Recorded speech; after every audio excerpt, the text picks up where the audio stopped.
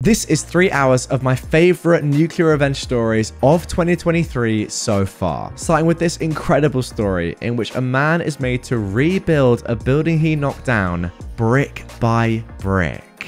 So, for this one, we're on Wikipedia. This is the Carlton Tavern. If you're watching on YouTube, you can see it on screen now before demolition. The Carlton Tavern stood on Carlton Vale in England. It was built in 1920 to 21 for Charrington Brewery to a design by the architect Frank Potter. It replaced an earlier pub on the same site that was destroyed by a German bomber from the major Gotha raids air raids of May 1918.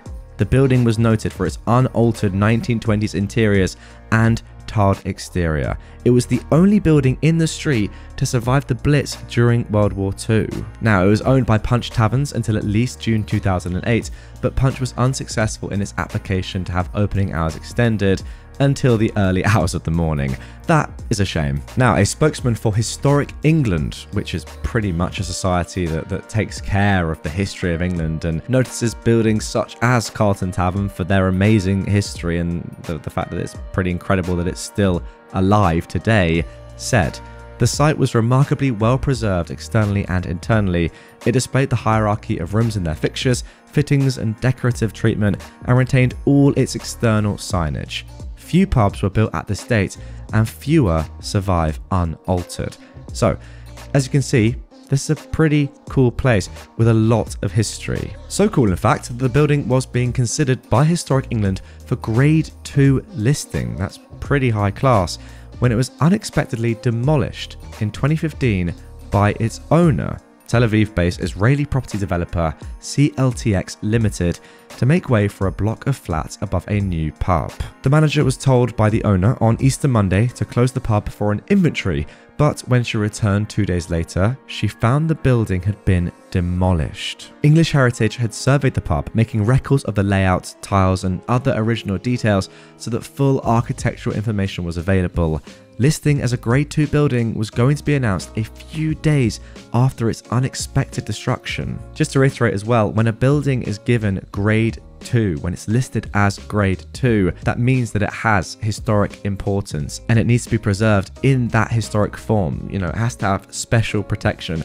As such, after this listing was made, this demolition could no longer have happened, and it's extremely contentious as to whether the owner knew about it or not. I'll let you decide. But on the 5th of May 2015, Westminster City Council issued an unprecedented enforcement notice ordering CLTX to recreate in facsimile the building as it stood immediately prior to its demolition. The notice prevented CLTX from selling the site until the pub had been rebuilt. Now, the London Evening Standard reported that CLTX would have to rebuild the pub brick by brick that is built in the same way that it was initially. Again, trying to preserve the historic nature of this amazing building that is somehow still alive. CLTX was ordered to rebuild the pub within 18 months from the date it was demolished. Councillor Jan Prendergast called the demolition the lawless destruction of Westminster's heritage. Councillor Robert Davis, deputy leader, said Westminster is home to the West End, not the Wild West. There you go. Good little bit of banter there from Robert Davis. Now, CLTX appealed against both the refusal of planning permission for its proposed replacement flats and also the order to rebuild the pub brick by brick, and that is an actual quote. A public inquiry held by the Planning Inspectorate sat to consider both appeals in May 2016 but it rejected both appeals. It did, though, extend the time allowed for rebuilding to 24 months. So, in 2016, CLTX met with Westminster Council to discuss rebuilding the pub, and in 2017, surveys of the site were being carried out, and notices on the pub announced that the rebuilding process had commenced. Later in that year, CLTX submitted a further planning application to include three flats within the pub when rebuilt but this was declined as it was considered to go against the decision of the planning inquiry. It was also noted that CLTX had restructured and no longer had any UK based directors.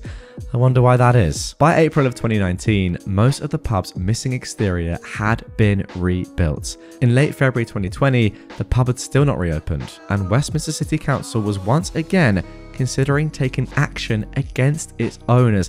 That is then five years on from when this whole thing started. Uh, there's one thing I know about city councils and councils in general in the UK, they do not forget.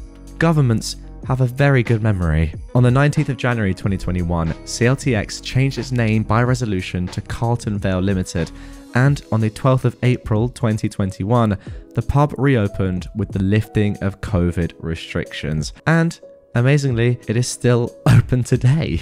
And as you can see, here is the website. Uh, there's even a little bit, a little bit of an about us section, which is detailing the history of the tavern and, and the atrocities that happened, but the fact that it's now back in business. Amazing stuff. And, what a story. A true, uh, amazing story of revenge. The sort that you're never really to see again. You can see here this story was covered in the New York Times, The Observer, ITV News. Huge stories. Historic pub that survived Blitz stands again after illegal bulldozing. That is amazing. I mean, the fact that the owners were literally told they needed to rebuild this brick by brick and that is the official quote is genuinely incredible. I mean i've never seen anything as as petty i'll be honest but also just downright nuclear and how long that would take in the history of the uk government. It's just not the sort of thing that is often done but hey i guess for such an important building one that survived literal bombings by the germans yeah we're gonna have to do some special things to make sure that this heritage is protected. Amazing stuff and hey what a start to this three hour episode. Let's carry on. Don't kill your neighbor's dogs. My crazy, antisocial, elderly aunt lives in the mountains of West Virginia. My aunt is a mean, bitter old woman who was suspected of shooting and killing her ex husband, but the cops could never pin it on her. Years ago, she built a small home on some land that borders the land of another family in a small, narrow, isolated, forested mountain valley. The other family had been living there for a long time, and they just wanted to be left alone, like most people who chose to live in a remote mountain location in West Virginia. My aunt bought chickens and started to let them run around, unfenced on her property, and the neighbor's dogs were very interested in those chickens. The chickens would roam around and go over onto the neighbor's property. One day, without warning, she killed her neighbor's dogs for killing one of her chickens, and only one of the dogs was killed on her property. The other one was shot dead in the neighbor's front yard. The neighbors had small kids, and they loved those dogs. My aunt walked over with a shotgun and told the neighbors that they had better never get another chicken killing dog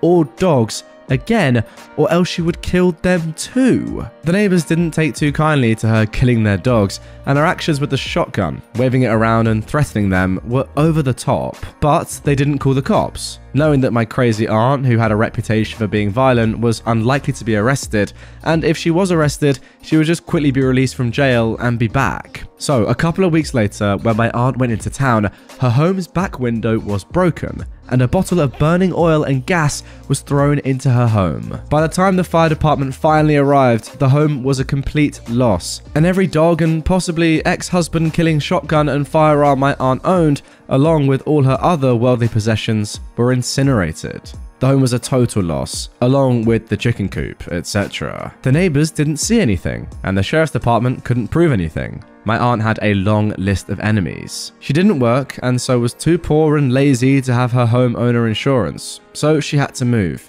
And her son eventually bought her a cheap, rundown trailer in town. Those of us who knew my aunt figured she got what she deserved. Moral of the story don't screw with a mountain man's dog. There we go. Emphatic but very justified revenge there. Brilliant stuff. If you've got a problem in your life and you know a way that you can deal with it and get that problem gone forever, then do it. And it seems like you did. I'll be completely honest, I'm kind of surprised that you didn't go any further and cause actual harm onto her yourself. As I've said multiple times, I've never owned dogs or proper pets. I don't want to be harsh on my own pets, but you guys know what I mean. So I, I can't speak on the bond that you have with your pet. But from what I've heard, and from what you guys are going to tell me in the comments down below, if your dog was to be shot by your neighbor for no reason at all, I mean, come on, killing a chicken yeah, they're dogs. What do you expect? Then I think a lot of you out there listening and watching right now would have done a lot worse things than simply burning down your neighbor's house. My ex fiance refused to respect my boundaries, so I married his best friend. Back in 2019, I just moved my long term partner into my house due to a series of poor life choices on his end. It had been a rocky relationship for most of its duration, but I was young and dumb. I believe that this was him wanting to commit and truly start our lives. By early 2020, we were engaged. I was a full time university student, sole caretaker for my mentally disabled mother, and taking care of the house and our pets. He worked a standard 40 hour week, minimum wage job, and refused to help with any aspect of life. I found out on Christmas Day 2020 that he'd been unfaithful and had forgotten to tell me. He was planning on leaving me, but had informed everyone except for me because he was failing to secure a new residence. Apparently, his F buddy didn't like him enough to let him move in. At this point, there was very little love lost, and I expected he'd be moving out within the coming weeks. Fast forward three entire months, and his search for a living place was non existent, and he was acting more and more entitled. Clearly, by this point, he's an unwelcome freeloader who's taken up residence in my living room. I was about to secure an eviction notice to get him off my couch. He began swiping Tinder with his phone volume loudly on. I told him to not do that in my presence, as it was highly insensitive to do it in my home, and could he do it in private?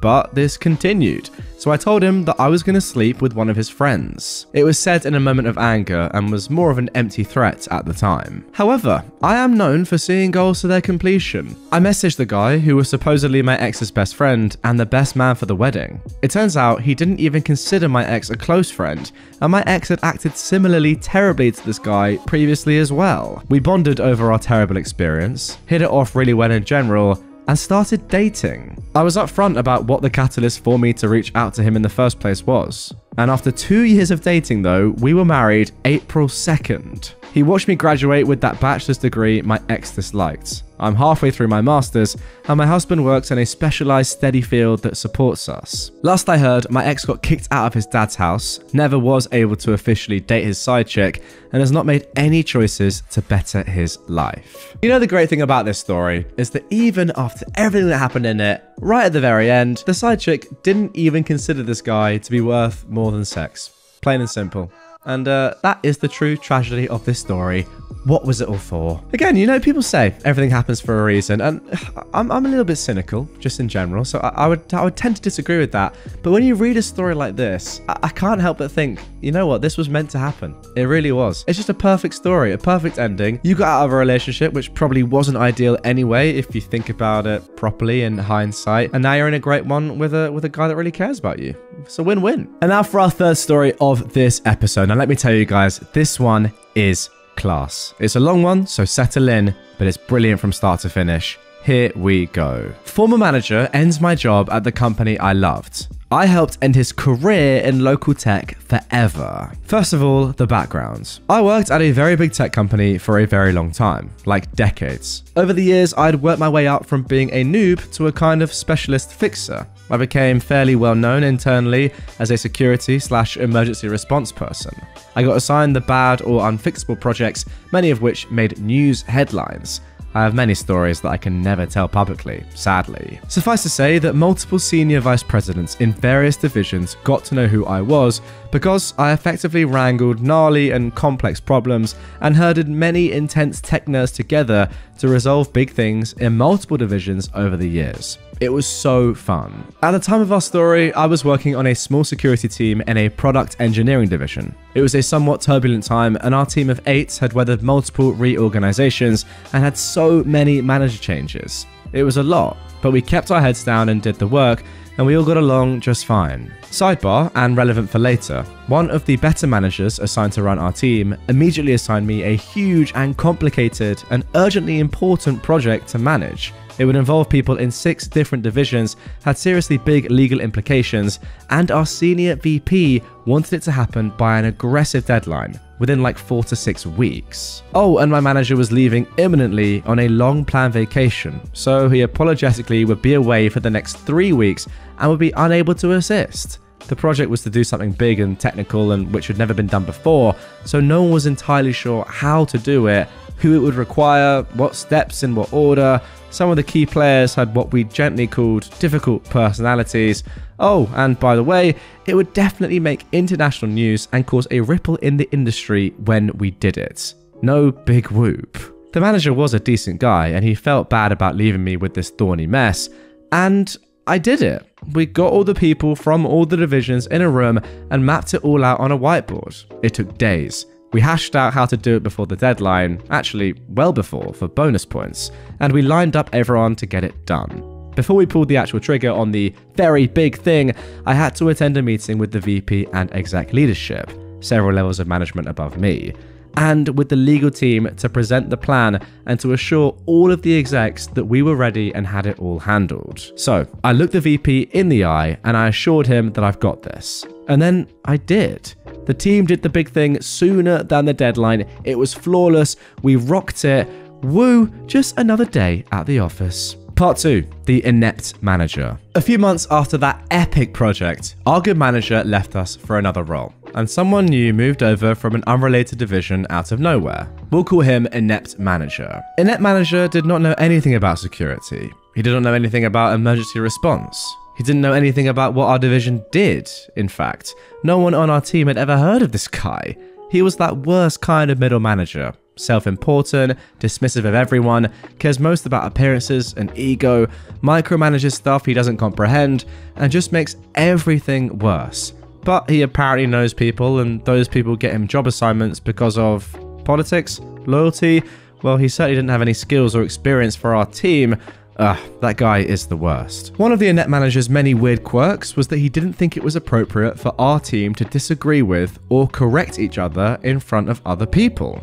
Things in tech, specifically product development, move pretty quickly, and things can change all the time. So if some of our team was meeting with someone from another team and someone said something like, so we decided to make the sky green and we're on schedule, and someone else on our team chimed in to say, actually that's changed. We decided that the sky is now going to be blue and we pushed the deadline back two weeks. That just happened in an earlier meeting. Oh, okay, cool. The inept manager would interrupt that and say, we clearly need to get on the same page. Let's end this meeting right now and reschedule when my team has all the facts straight. Um, what? That's insane. We'd literally never have any meetings if we waited until everyone knew all of the same information all the time. Other teams would routinely leave meetings with us with inaccurate info, which affected release schedules, resources. It was just a mess. My question is is that not the point of a meeting? To get everyone on the same page? Hey, maybe I'm wrong, and Inept Manager knows something I don't. Part 3 Inept Manager Hostility. Shortly after the Inept Manager became our manager, he started being really hostile to me. Not to everyone on the team, just me. As far as I knew, I hadn't done or said anything to earn his hostility, but suddenly, after over 20 years at this company, I could do nothing right. While this jerk didn't actually understand most of what my job was, he was sure I wasn't doing it right and he was quick to tell me so, and often in front of others, to the point that my co workers would take me aside to ask what the actual frick was going on. I didn't know either. The thing is, I was the only woman on the team, and I have a disability. Now, I've been through some things working in high tech over those decades. It was very much an old boys club back then. And, meh, I was fine. I'm not one to claim discrimination at the drop of a hat or for no reason. However, when I was trying to piece together the cause of this dude's hostility, some of his comments were sexist and not at all subtle. He also didn't like that due to my disability, and frankly my seniority, I was given one of the few offices with a door on it in our new building. The rest of the team was in open floor plan cubicles, which everyone hated. He was incensed that I, a lowly direct report and woman, got an office, and he didn't. Well, I had more seniority than just about anyone, so even without my disability, I'd have scored the office ahead of him. Note that other men in our division got offices too, because again, seniority, but that bothered him less. I was the only woman on our floor with a door, and I was his subordinate. His ego did not like it, not one bit. He threw a fit about it repeatedly. There were lots of other things said. My favourite among them towards the end was him reprimanding me for my bad attitude in a meeting we'd just had.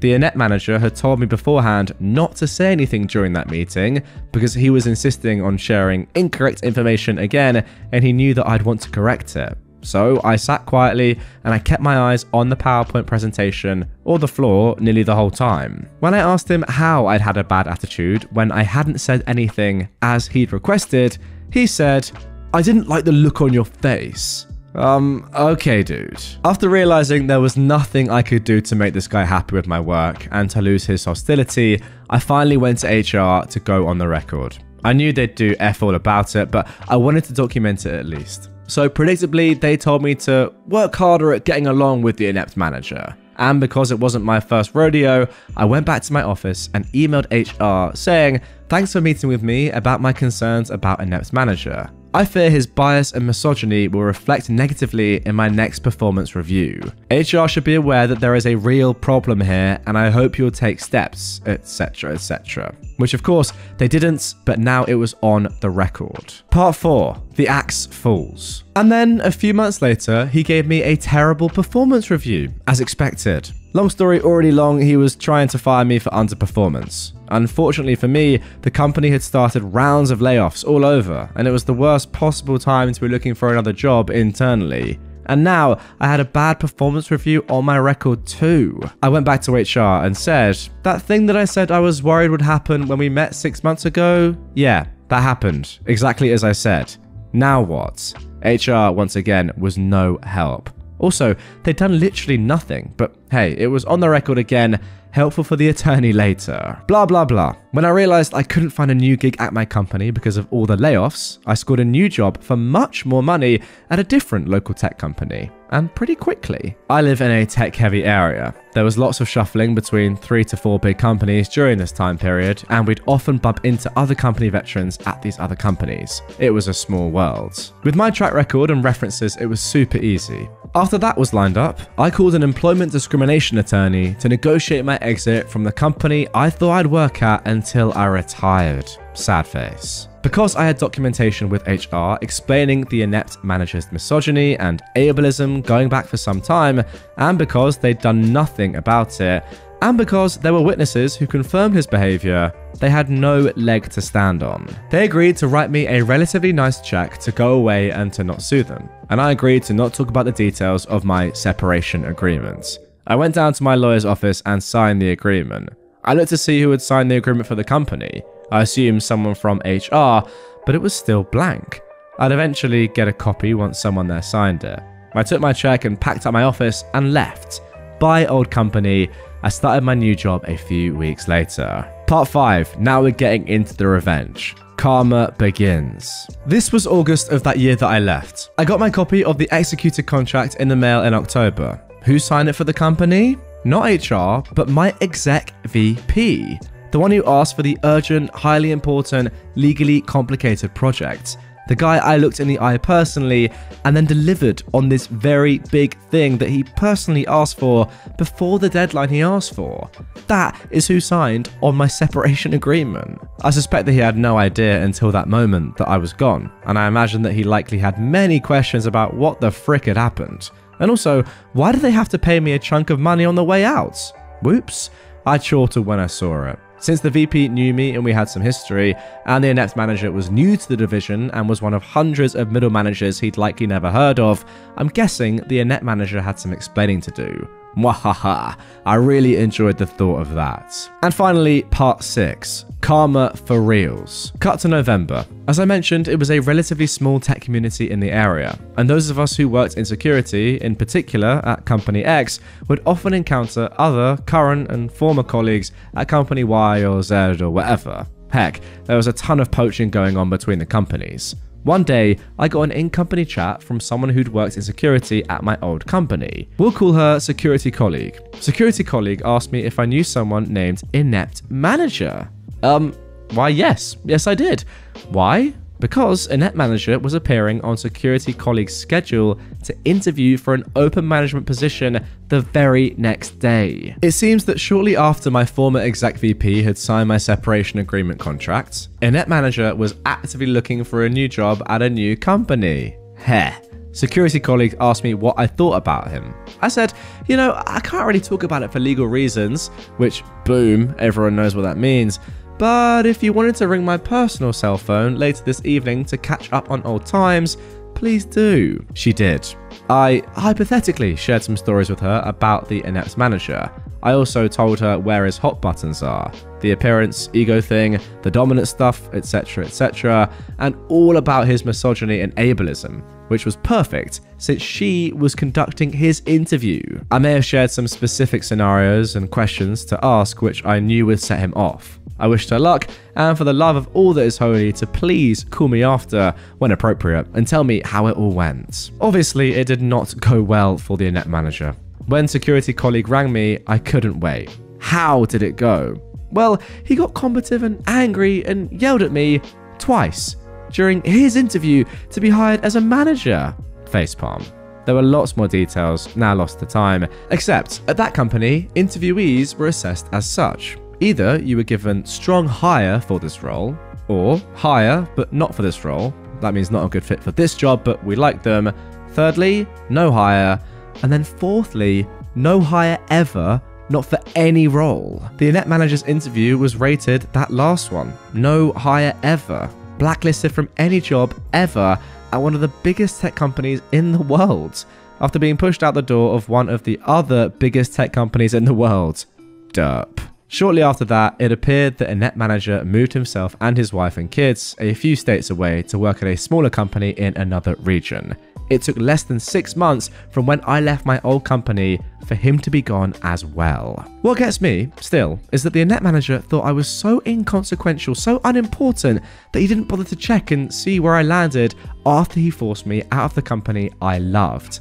And when he had to look for a job himself shortly thereafter, it also never occurred to him that I'd have connections with, oh, thousands of colleagues that I'd worked with over the years, some of whom, of course, could now be working at company X, Y, or Z, where he was interviewing, and where I'd scored a huge raise for myself. To this day, he doesn't know why his interview at Company Y tanked so badly. And since security colleague was not legally precluded from sharing stories that she'd heard through the grapevine about Inept Manager's management problems, it's possible that other old security colleagues at Company Z and other companies in this area heard those stories too.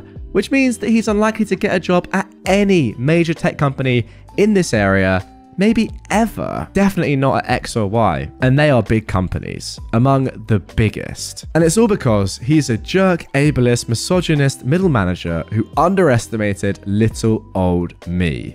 Mwahaha. And there we go. A great story to end off today's episode. It, it really sucks to be fair that you're in that position. You know, a company that you've worked at for over 20 years, you said, one that you saw yourself retiring in, and all that, that dream just ruined by this annoying guy who, you know, had a crazy ego and thought he was better than he actually was, of course. It's very sad because not often in life do you get a job that you love and that you actively want to stay in until retirement. I mean, that's an absolute joy. It's a privilege, right? We could all dream of something like that. So for that to be ripped away, yeah, this guy deserved that revenge. Fair play to you, OP. Well done. I was able to simultaneously gain a 30k per year pension for my mother while wiping my POS father's retirement. My father is the Canadian Satan. Growing up with him was less than fun, and I can assure you, based on witnessing it, he was a less than fun husband. I'd go on about what a POS my father is, but instead I'll quote a judge. You're the most despicable human I've ever had in my courtroom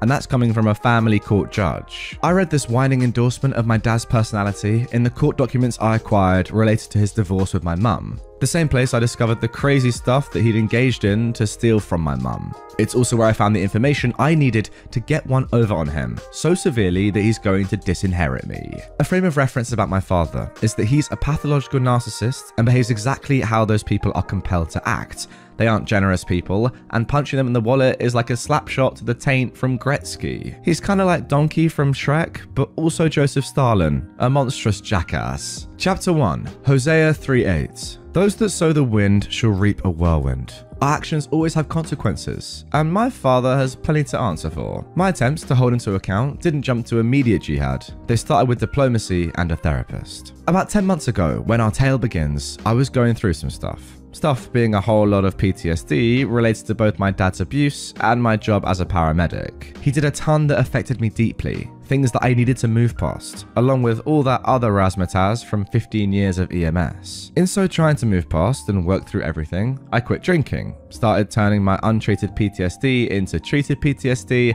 and thinking having my dad involved might help me and our relationship. Well, I seriously freaking misjudged that one, so you'll probably be unsurprised to hear that conversation went swimmingly. I'll spare you the lurid detail, but when I broached the subject with him, our back and forth degenerated into visceral hate, with him screaming at me that I'm a failed paramedic, liar, and POS alcoholic. While I have a certain pride about my job, I have more pride in my 14 month sobriety. So hearing this from my old man might have caused me to behave a little bit psychotically. I got right annoyed at him and decided to dig up every bit of dirt I could, see what kind of man he actually is and has been. When it was convenient, I hopped in the mystery machine before taking a trip to the courthouse to unleash my inner gumshoe. Everything is public record, so I bulk bought copies before retiring to my easy chair to read, plot, and pet my white long haired cats. For good measure, I obtained a file of divorce document from my mother. Soon enough, I hit upon a line of inquiry worth following up on, it seems that during the final settlement of my parents' divorce, this was in 2002, my mother was awarded one third of my father's employment pension. She was a stay at home mother and could not earn one herself, so it was given to her by a judge. Mighty freaking strange, because my father, as he brags, took a nearly full pension and retired a bit early. There's no way that guy was living the last 10 years after retiring early on a two thirds pension. He isn't constantly complaining about it.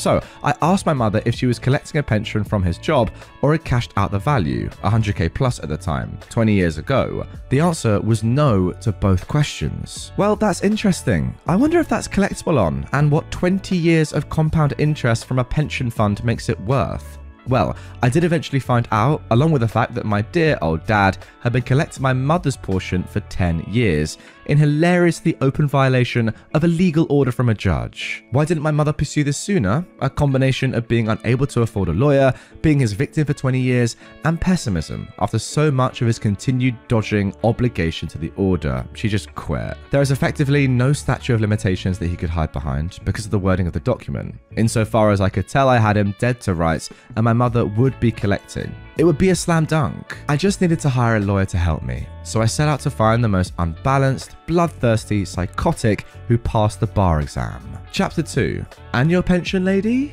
As it says in the good book, screw unto others as they would screw unto you. So that's what I set out to do. The misanthropic sociopath I hired for legal counsel suggested we send a demand letter to the pension office to try and remedy it before filling what would undoubtedly be an easy win for him. I agreed in spirits and instead phoned up the pension office and got put through to the woman managing my father's file. Well, she was a delight, and it was a trivial matter for me to get her to loathe my dad. We talked for 45 minutes, and I swear if you'd given me another hour, I could have convinced her to suicide bomb his house. In all our conversations about life, families, and relationships, we got down to some things of note. Since I could show her correspondence her office had sent to my father, CC'd my mum on, from some years ago and ongoing for five consecutive years, trying to resolve this matter, which he'd ignored, she was more than willing to start the process on remedy immediately. Full cooperation from this lady and her office was a matter of merely providing documentation, and with my lawyer on retainer, this office was beyond asking my father to comply.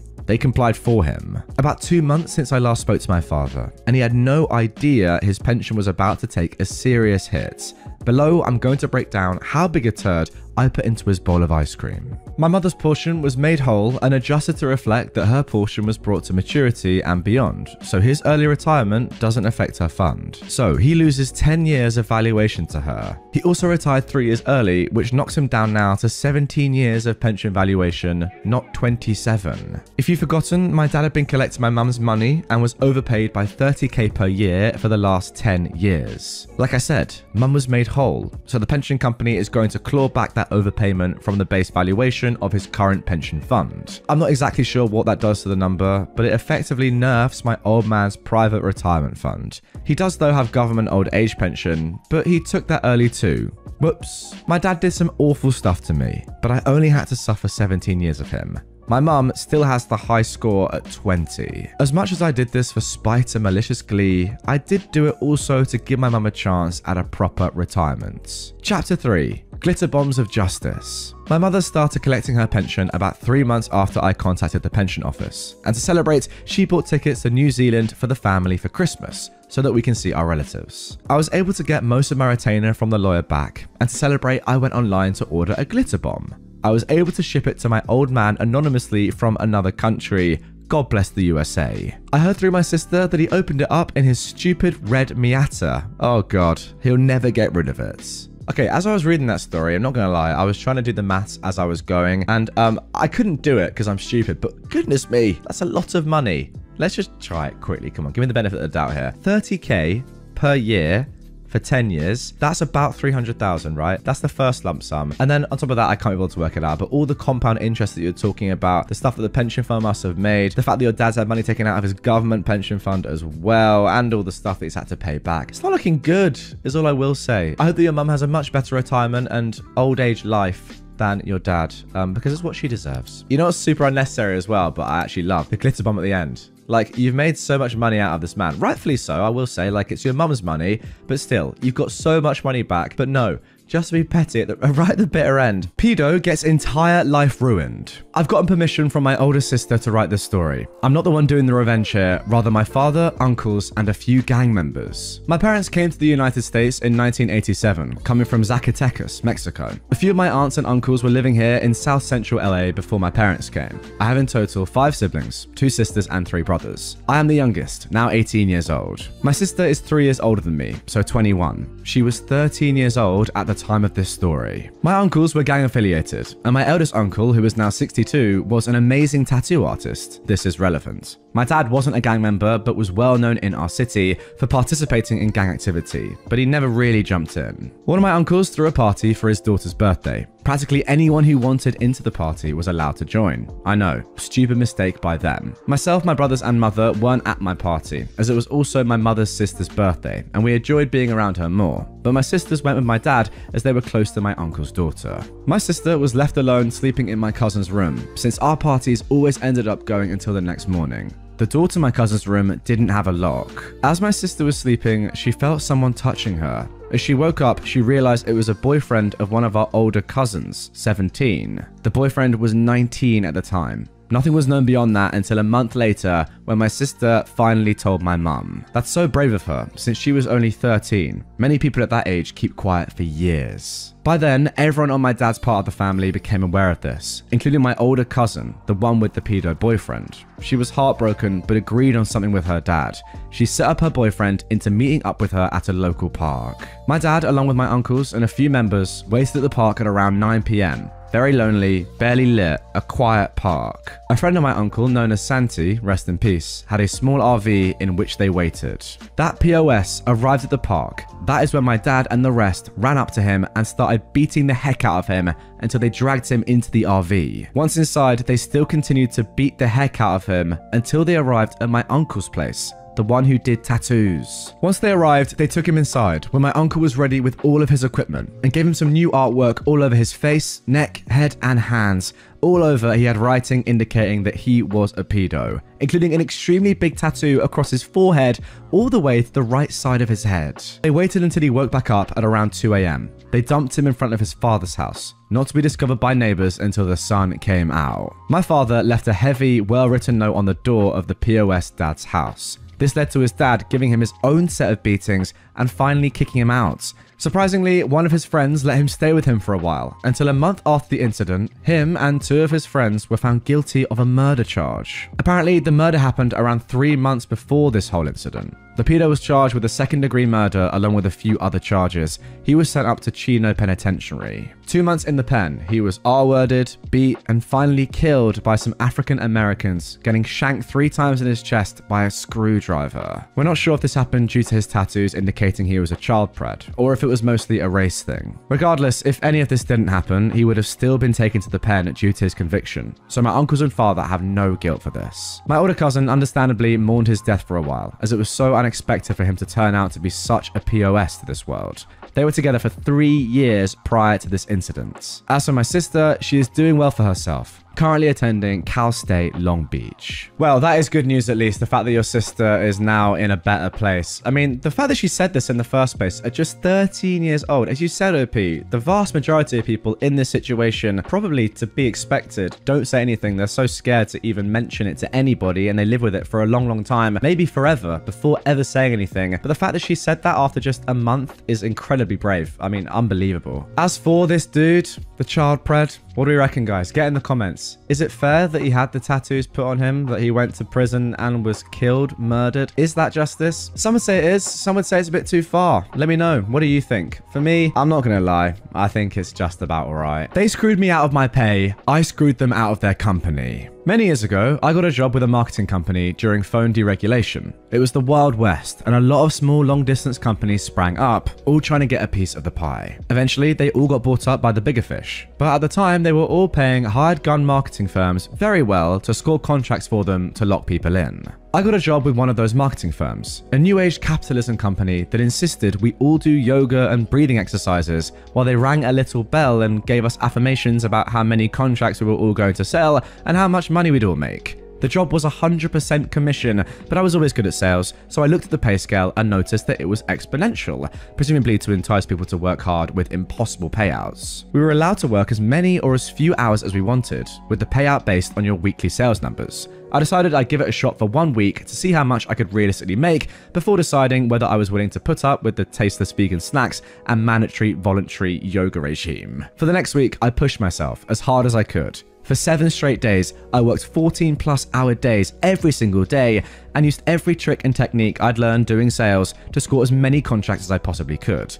I figured that this would tell me my maximum possible income and could decide on that basis whether to stay. At the end of the week, I'd blown everyone else out of the water. In fact, I'd not just gotten more contracts than anyone there had ever seen in a week, I'd gotten more than any of them had seen in a month. Because of the exponential scale, I realized that I was making absolutely ridiculous amounts of money, over $10,000 per week. They had never expected anyone to actually hit those kind of numbers. Coming in the next week, expecting a huge payday, I ended up with about 5% of what I expected. They told me there were problems with a lot of my contracts and that I would be allowed to fix them and submit them a few at a time over the next several weeks. These problems were things like an apostrophe wasn't quite clear or the dash in someone's phone number was slightly crooked. They were going to screw me. That night, I got a phone call from the company's office manager, Frank, who wanted to meet up for a drink. Curious, I agreed. Over beers, Frank told me that the owners of the company were in a panic because I would have bankrupted them.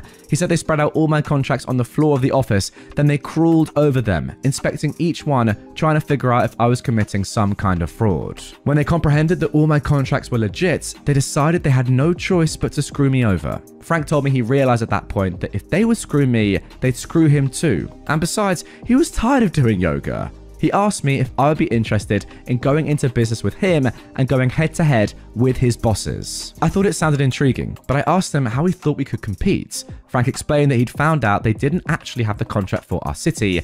They were acting as independent contractors for another company who had the contract to market the service in an entirely different city. They were poaching here because the person who did have the contract here wasn't actively using it. We put together a pitch and approached the guy with the real contract, Joe, and told him about the people poaching his turf. We agreed that we'd split with him. We'd take the upfront money for each contract, and he'd get the back end money down the road. It was a good deal for everyone, so Joe contacted the phone company and had them threaten the poachers with a big lawsuit if they didn't stop.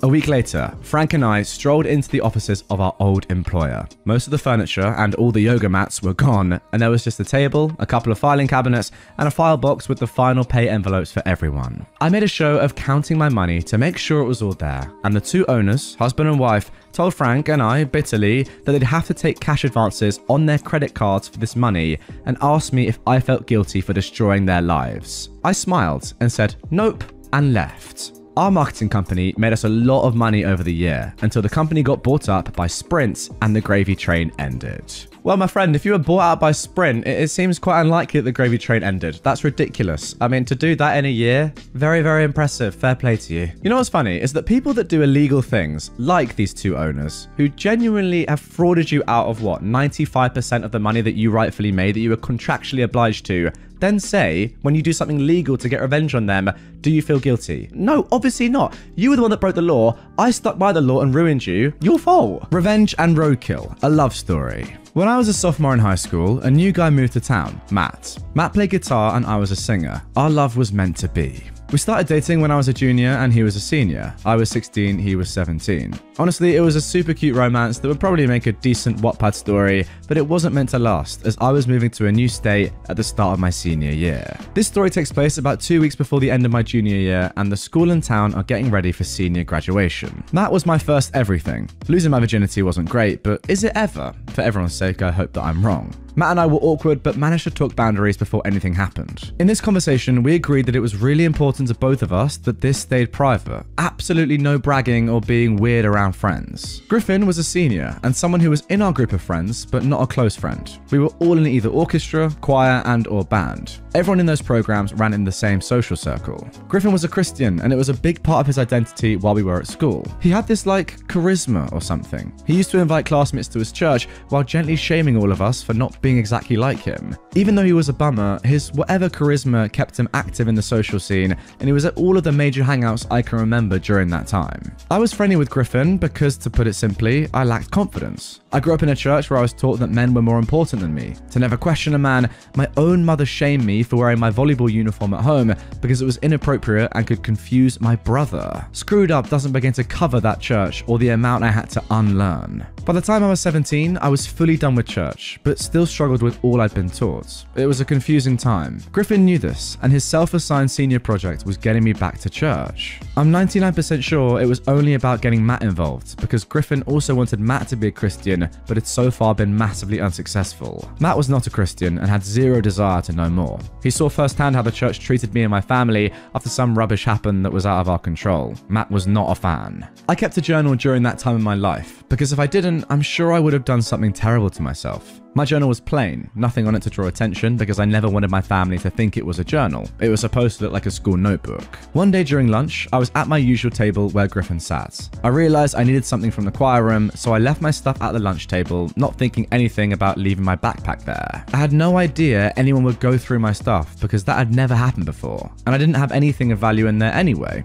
Well, as it turns out, my journal ends up being valuable because I'd written about Matt and I. Griffin thought he had the ammunition to get me back into church, and I'm assuming Matt was supposed to join us. Griffin proceeded to take my journal and tell basically everyone in our social group, which led to most of the school knowing. A private moment became everyone's, and it was freaking humiliating. Thankfully, Matt didn't blame me, even though I felt like it was all my fault. He was more confident than I was, but also didn't get nearly the same shame thrown his way that I was getting. I knew I was leaving in a few months, so I tried to keep my head down and focus on school, but being called a multitude of slurs by people I grew up with, it grates on you after a while. I guess Griffin's plan was to shame me back to church, but instead all I wanted before leaving town was to ruin Griffin. It took some time, but I got there. Matt, our other friend Henry, and I were hanging out at my house after school. My house backed up to a street that often had roadkill due to being right alongside a huge swathe of woods. At this point, I knew that my revenge was going to include Griffin's brand new truck. This truck was literally all he could talk about because it was custom. His parents got it for him as an early graduation present. It was super expensive. It was perfect. The bottom line is, he loved that truck more than anything he'd ever had. I'm not a car person, so I have no idea what the truck was or if it was good, but I do know it was really, really tall, like you couldn't see the top of it, which ended up being bad for Griffin, but fantastic for revenge. There was a big, super dead possum on the road behind my house that had been there for what seemed like a week, but I don't remember how many days exactly. Normally, the town was good about sending the guy down our road to pick up roadkill, so it had been there long enough for me to notice it, which didn't happen often. I was staring at the possum because, well, it was there. I'm staring, Matt starts staring, then Henry starts staring. We start talking about Griffin while we're all staring at this disgusting pile. We're talking, and I'm getting mad, madder, than livid. However, I calm down when I realize we have an amazing opportunity in front of us. Gentlemen, we're going to bag that super dead possum and put it in Griffin's truck. This wouldn't be quite that simple, so we start brainstorming how we can fully get away with this. Griffin lived in the area of town where it was faster for him to walk to school instead of drive. Shortcut through the woods to school meant a three minute walk. Driving to school meant that he had to go 20 miles an hour or slower, and one of the cops was always out because of how the schools were placed, so no speeding. It still took barely any time, but it was a longer route than the shortcuts. Griffin, of course, drove to school. We had a plan. I snuck out that night, met Matt and Henry wearing all black and a mask, bagged up the super dead possum, the most disgusting thing I've ever done, and drove to Griffin's. We parked a bit away and went through the woods to the back of Griffin's house, lugging this bag of putrid nonsense. This was before the time where a lot of people had cameras on their property, so we didn't have to worry about anything besides floodlights on the side of the house. We decided to put the possum on top of the truck, knowing that Griffin wouldn't be able to see it, couldn't drive like a butthole, and wouldn't be taking his truck anywhere besides school. So, that possum was freaking bloated. And if any of you are at all familiar with bloated roadkill, you may know where this is going. The possum was heavy and not going anywhere until this revenge was done. The next day at school, Griffin parks in the student lot like normal. We go to class like normal. I get called a few names throughout the day, and everyone is normal. I went through that day gleefully, awaiting the final bell, knowing Griffin was in for a nasty surprise. This is happening two weeks before graduation in a very southern state. It was hot as anything where I grew up, with 90% humidity on top of it. So, the bloated, super dead possum on top of Griffin's car, that possum did what an old, bloated possum is gonna do, which is explode. If you've never experienced this smell, I hope you never do. The final bell rang. Matt Henry and I strategically placed ourselves a bit behind Griffin so we could see him once he got to his truck. When you made it to the parking lot, you made it to the smell.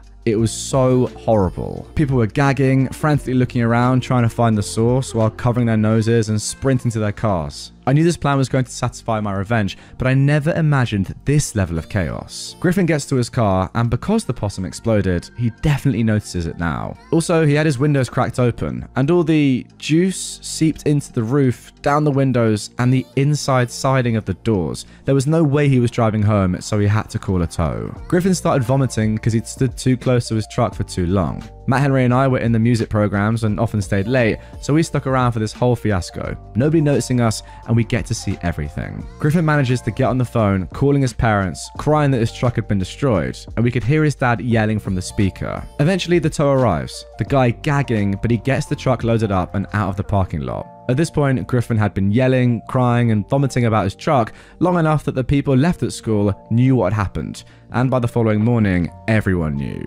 When Griffin came into school the next day, his parents and a guy in a suit were with him. A lot of people knew Matt and I had issues with Griffin. Matt was called to the principal's office, but never me. I never know the exact reason for this, but it's most likely a combination of not having any physical evidence against Matt and myself, and that no one imagined a woman would be involved in a retaliation scheme so disgusting. Griffin, his parents, and Guy in suit tried to throw weight around to get some type of punishment for what happened, but there wasn't really anything the school could do to appease them without knowing who did it or having evidence evidence that it happened at school. There were cameras at school, but it was clear that Griffin arrived at the school with the super dead possum already on his car. Everyone totally knew that Griffin's car was destroyed by Matt, and probably me, but never Henry. There's no reason to suspect Henry, but with no proof, no one could actually say anything. After that day, people stopped calling me names, and I was mostly ignored until I moved away. If people did have to talk to me, they were polite and to the point. I was told years later that people were genuinely terrified of Matt and I because plenty of trash had been said, so everyone thought they were going to be next.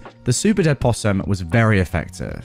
Pretty sure Griffin's truck ended up entirely unusable, but I don't know what they did with it. I only know that they spent a lot of time and a decent amount of money trying to get the smell out with no luck. Wouldn't be surprised if every car detailing service within 100 miles was used. Griffin didn't speak to Matt or me for the remainder of my time in that town. He stopped sitting with us, stopped going to events that we were at, and never invited us to church again. I was only around through the middle of summer, but it was long enough to witness a noticeable difference in Griffin's behavior. The graduation ceremony arrived, and being a year younger, I was in the crowd cheering for my friends. This was completely unplanned, but I get giddy picturing his face decades later.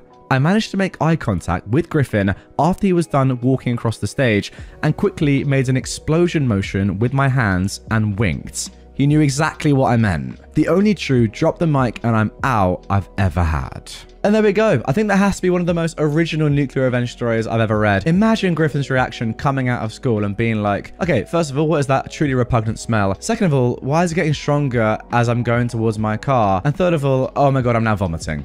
I would have loved to see it. Now, that you could argue that maybe it's not nuclear. I mean, we've seen definitely more serious revenge tales than this one, but you have to remember that these guys are in school. There's a limit to what you can do here. And getting a dead animal from the road and completely writing off someone's car with it, that's pretty nuclear to me at that age. Also, got to think about the amount of money lost during this. I mean, the car alone is very expensive. And I imagine they also tried to spend a lot of money, as OP said, through all these dealerships trying to fix the issue, but to no avail, it seems. That's a lot of cash. Now, before we get into our next story, I have a very special announcement for you. After an insane amount of demand from you guys, I'm delighted to say that I've released some limited edition Not Today Karen merch. Picture this you're out and about in the streets, and a wild Karen appears and starts confronting you. What do you do? Well, normally you have to talk to a witch like this. However, get one of these t shirts or hoodies on, and all you have to do is simply point to it, laugh, and walk away. How easy is that? The link is down in the description if you like what you see. Go ahead, check the stuff out. I think they'd make a great Christmas present or even just a little gift for yourself. As always, it's official stuff from the very best supplier, so the quality is unmatched and it's one of the best ways to support me and the channel. With that being said, let's carry on. How I got a car dealership to give my friend a newer car. Circa 2020 January, my friend makes a stupid decision and buys a brand new car he can't afford. His insurance is like $400 a month,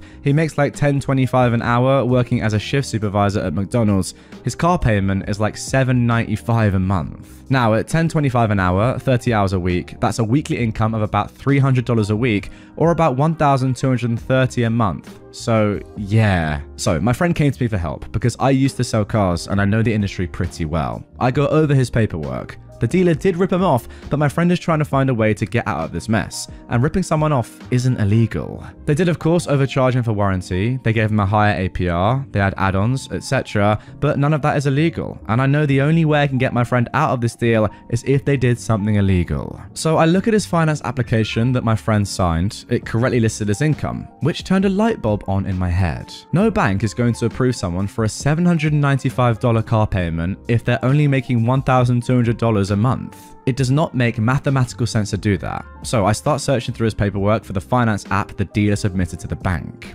Oftentimes, when you submit a finance application at a dealership, the dealership will take the hand filled out application and reproduce it electronically. This is pretty normal. However, on the application the dealer submitted to the bank, the dealer said my friend was a GM for the McDonald's and made $70,000. My friend had good credit, so it doesn't appear like the bank asked for proof of income. So I go to the dealership with my friend and tell the sales manager he's going to want to put me in touch with the GM because we're going to be unwinding my friend's deal and giving his trade in back. The sales manager thought I was joking. The GM also thought I was joking. Then I demonstrated how his dealership finance department committed bank fraud. I showed the GM the finance app my friend filled out. I then showed the GM the finance app his dealership submitted to the bank and pointed out the income difference. My friend really made 14,000 a year. The dealership claimed my friend made 70 a year. That's bank fraud. That's a felony. Let's keep this simple, shall we? The GM sees his dealership is in a load of trouble. The proof I'm presented to him is rock solid. He knows it, I know it, we're all on the same page. He goes, okay, so what can I do to make this right?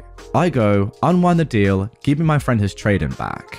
Unwinding the deal is basically the GM agreeing to cancel it, and basically erasing the deal and pretending it never happened. The GM tries to avoid that, but I remain firm and remind him that we can easily take this documentation and turn his life into a living hell, and he knows I'm right. My friend also needs a car to get to work the next day. The GM says he'll check into it, and he comes back and tells me, unfortunately, they sold his trade in already. I said, that's fine, unwind the deal and let's put my friend into something as good or slightly better than what he traded in for. The GM goes, so he'll buy a car similar to his trade in? I said, no, you'll give him a car similar to his trade in. The GM goes, it doesn't work that way.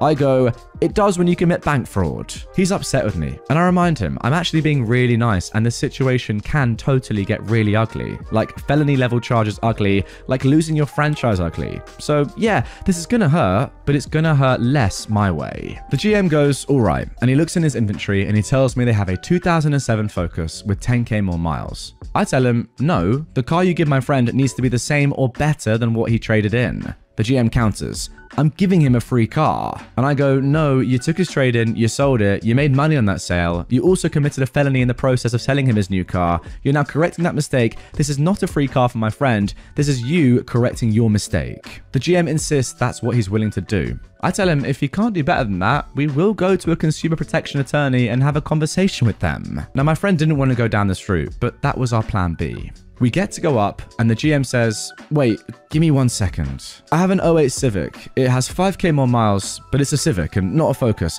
I'll unwind the deal of the new car and put your friend in the Civic at no extra cost. We agree. The GM has the paper drawn up. The old loan on the new car is cancelled. They take in the new car again, but because it's already titled, they'll have to sell it as used. That sucks for them.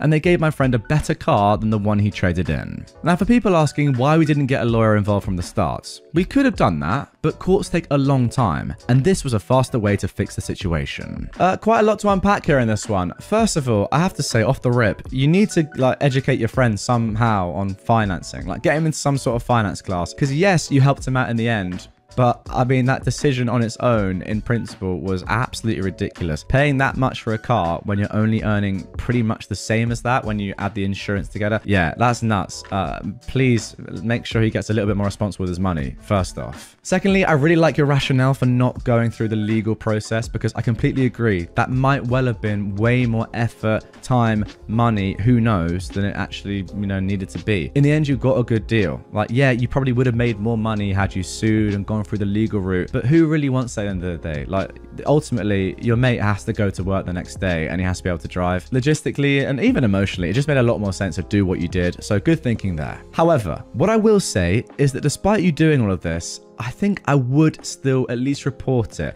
You don't have to sue, but report it to the authorities because, as you say, this was illegal, this was a crime. And let's be honest, it's almost definitely not the first time this has happened. And if you don't report it, it's likely to happen again. So, not just for your friend's sake and your sake, but for any other customer in the future and in the past sake, I think you should still report this. Haribo Revenge goes way further than intended. I was a witness to this a long time ago, and the results were learned of by word of mouth. Once upon a time, there was a kid. Let's call him Marco. Marco was your everyday kid, a little skinny. I remember him being slightly geeky. If you left your pens unattended, he'd disassemble them before you turned back around in your seat at times. He was nice, polite, and fairly helpful. This was middle school. One day, though, he does it to a bully. Let's call him Polo. Polo is huge, but with fat. He looks like if you drilled three holes into him, a giant could use him for bowling. He's not nice. He's not handsome. He's got a posse of equally disgusting friends who all gang up together to bully others. I suspect that if they hadn't ganged up with each other, they would have been bullied. Perhaps they had been in the past and got a taste of power over others when they ganged up. I don't know, I kept to myself. One day, I see Marco with a swollen eye and wet hair. He's limping a bit too, and his backpack is ripped. I asked him what the hell happened. It turns out Polo threw him into a bathroom stall by his backpack, which ripped. The toilet got him in the knee, and Polo shoved his face into the water, bashing his eye into the seat. I asked why Polo had done this to him, and he says, I took his pen apart.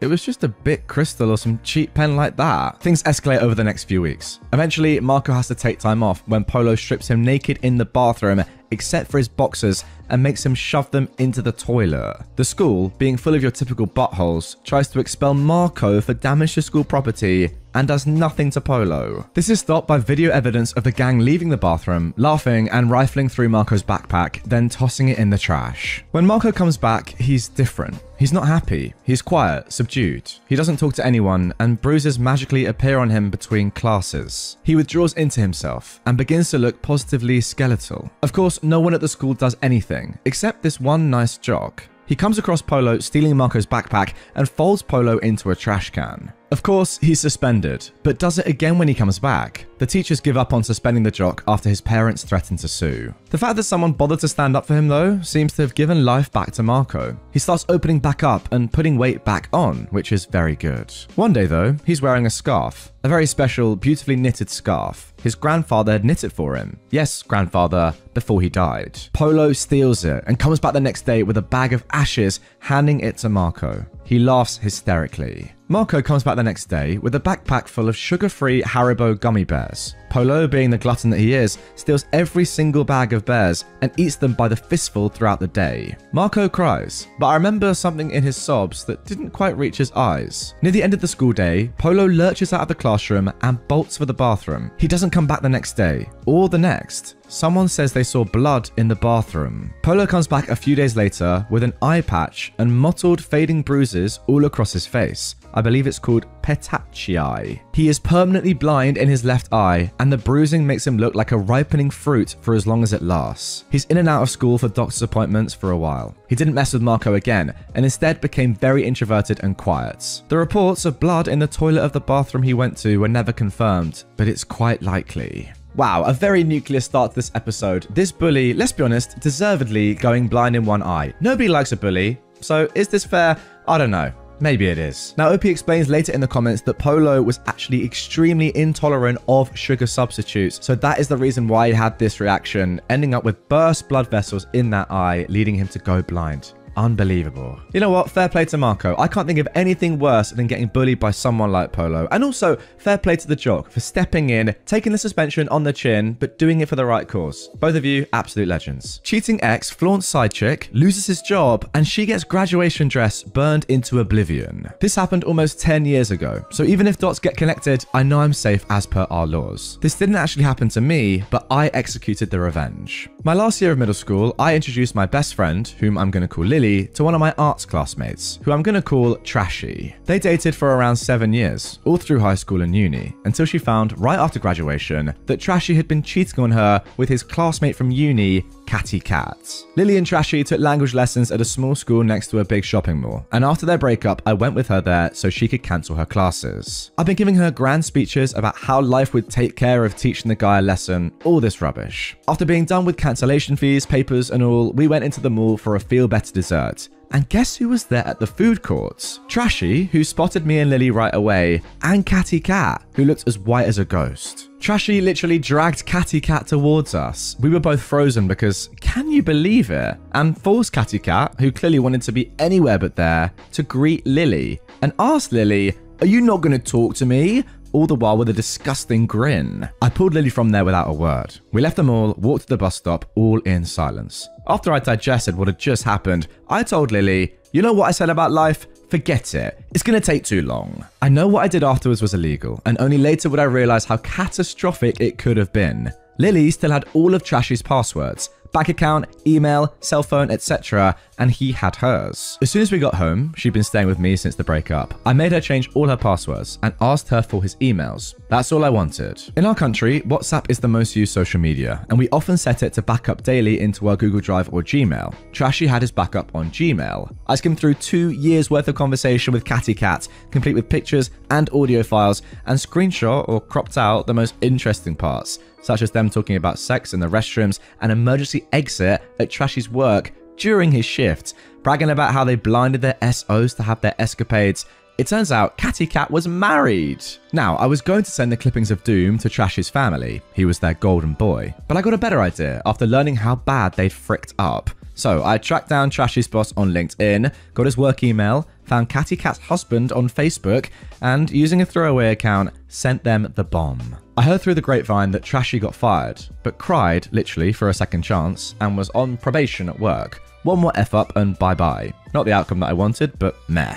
Fast forward a few months, I was talking to my cousin and she was telling me about how her fiance's colleague was traveling all over the world and he recently posted some pictures at a bar made of ice and she wanted to travel there too. She showed me the picture the guy had posted. Lo and behold, traveling colleague was Catty Cat's ex-husband, Rick. I asked her how she knew Rick and she told me he was her fiance's friend and work colleague. I didn't tell her about my shenanigans, only said that Rick's ex wife and my best friend's ex had cheated on her, and inconspicuously, I hope, asked my cousin how Rick was, how it must have been a sad breakup for him, and did she spill the tea? So, Catty Cat had introduced Rick to Trashy during her graduation ceremony a few weeks before I sent the bomb, saying, Look, this is the friend who helped me with my graduation project. Rick had allowed Trashy and Catty Cat to use his computer at home for said project. It turns out they were screwing on his bed while he was working his butt off to pay for her sorry one, and she made him shake hands with her lover. Rick was a programmer, Catty Cat was from the countryside, and she'd been living in the city with him for a few years. Rick had an awesome salary. He paid for everything so Catty Cat could focus on uni. But one day, he received some evidence that his wife was cheating on him with the guy he'd shaken hands, the same guy he allowed to use his computer in his house to help his wife do her graduation project. Rick got her graduation dress, set it on fire, shoved her into the car, drove all the way to her family's home in the countryside, and reportedly dragged her into her parents' house by the hair, made her kneel and tell her mother and father what she'd been doing. Her father was so distressed he had a minor stroke, and her mother kicked her out and cut her off from the family. As far as I know, last I checked was five years ago, there was still no contact. Rick threw her out of the house. She moved in with Trashy's family, and Rick, now with his salary trashy ex free, was living La Vida Loca, going to ice bars in neighboring countries. And I was desperate. Had Rick been 1% madder, he could have burned her along with the dress. Her father could have died after my interference. I didn't calculate how Rick could react at all. I called Lily, told her all about it, lost my sleep over it for weeks, and even considered confessing to what I did. Lily asked me to let it go. What was done was done, to take this as a lesson and let life run its course the next time, as I'd initially said it would. I'm not proud of it, and even though I don't lose sleep over it anymore, I still feel somewhat guilty. Confessing here is kind of cathartic though. Okay, it's one thing cheating on your partner. I mean, that's pretty bad. I think we can all agree. But then to do that and then introduce your partner to the person that you're cheating on them with and have them shake hands is actually crazy. Like the level of psycho that you must have to be to do that is actually nuts. And the fact they both did it as well, they genuinely said, no, I want you to meet the person that I'm cheating on you with. It's unbelievable. It really is. That might be the most shocking thing in this entire story to me. I mean, I don't even care that someone almost died, had a stroke. The fact that someone would do that, wow. And also, OP, it's not your fault that it could have gone a lot worse. Like, them cheating was the reason why this happened. Them cheating is the reason why the dad had a mini stroke. It's not you telling them. It's not you making Rick know that it happened. Like, yeah, you did the right thing by letting everyone know and telling Rick what was going on. The fact that her dad had that reaction is because of his daughter's actions. It's nothing to do with you. And also, I know you say at the end, or at least Lily has said, next time just let nature take its course. I don't know. I feel like cheaters need to be called out, right? What might have happened if you hadn't called them out? Yes, the dad nearly died. But again, we've said that's not your fault. So Rick Captano, didn't he? I, I think you did the right thing there, personally. Let me know what you think down below in the comments. Now, before we get into our next story, I have a very special announcement for you. After an insane amount of demand from you guys, I'm delighted to say that I've released some limited edition Not Today Karen merch. Picture this, you're out and about in the streets and a wild Karen appears and starts confronting you. What do you do? Well, normally you have to talk to a witch like this. However, get one of these t-shirts or hoodies on and all you have to do is simply point to it, laugh, and walk away. How easy is that? The link is down in the description if you like what you see. Go ahead, check the stuff out. I think they'd make a great Christmas present or even just a little gift for yourself. As always, it's official stuff from the very best supplier, so the quality is unmatched and it's one of the best ways to support me and the channel. With that being said, let's carry on. Never safe to badger. As an apprentice, during the early days of my career, I worked for a no-nonsense Italian master marble installers. During one of the first big projects I was on, they were installing 8 by 20 centimeter Italian bone stone on the side of a brand Perfect. All the huge pallets were stacked in one area, and after finally clearing customs from Italy, sitting on the dock for 110 days, three of us were charged with keeping the installers in materials. Holy heck, they were installing like madmen, and we were busting balls. Whenever a guy had to wait more than a minute or two, he would start yelling in Italian, Andiamo, andiamo, stupido cretino. Let's go, let's go, stupid moron. Nice. Side note, my father was off the boat from Campobasso, Italy, so I knew what was up.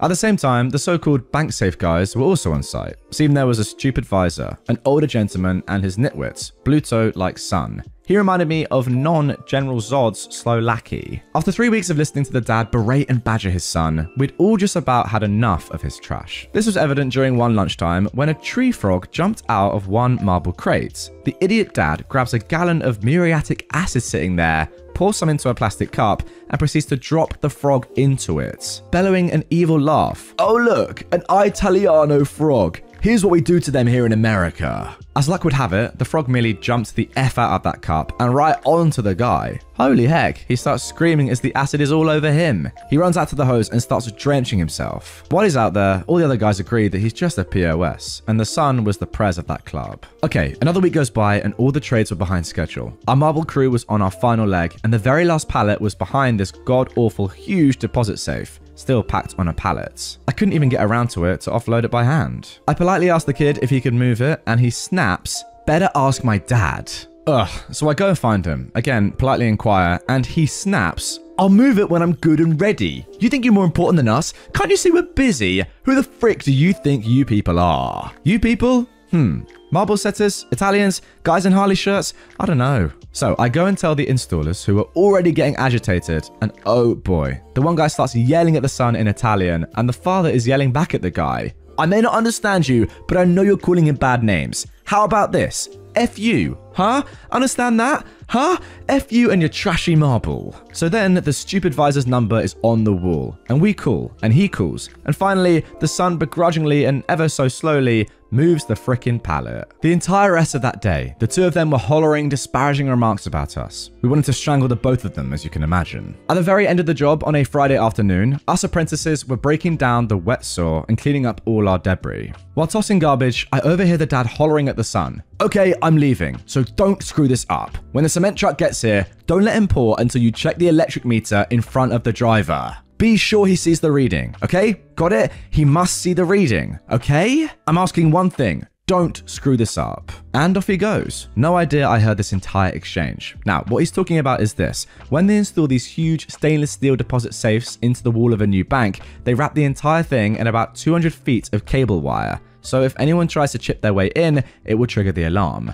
Damn thing resembles a rubber band ball when it's finished. Before they encase the entire kit and caboodle with high strength number one concrete, the safe guys clip test wires to each end to be sure there is contact for the alarm guys, as there will be zero way to repair it after the pour. Everyone is gone but the son and myself. The truck pulls up. The kid, all boss like, approaches the driver, and over the roar of the truck, he hollers, You have to witness the meter read. The guy's unimpressed. Yeah, whatever. The dimwit attaches the leads and it shows positive conductivity and he shows the driver. When he looks at it, I really don't think he knew what he was even looking at and snorts, Okay, I guess. The kid's all proud and screams, Let it go! And while the guy's positioning the shoe over the framed in deposit safe, I go around back and take my trusty Gerber plier multi-tool and just reach in there and start cutting wires. I cut a half dozen and floofed up the wires to cover it. Less than three minutes later, the entire thing was covered and encased in the concrete. The next day we show up and there's the father, the son, the stupid visor, the concrete guy, the contractor, the alarm guy, and four suits standing around this meter, taking turns assigning blame. The best part we heard was the father screaming about getting paid and the contractor refusing until that circuit showed positive. And we all know that's not going to happen. Now, normally I'm not a vindictive kind of guy, but this incident was different. I felt I was representing all the guys on site that were badgered by these idiots. Not sure of the final ending, but that bank opened on time and the exterior marble looks magnificent. I smile each and every time I drive by it. And there we go. I'm not entirely sure, to be honest, who exactly had to pay for all of this. I assume it was the father and son, though, as they were contracted to do the work and they didn't fulfill their contract. So I assume they never got paid.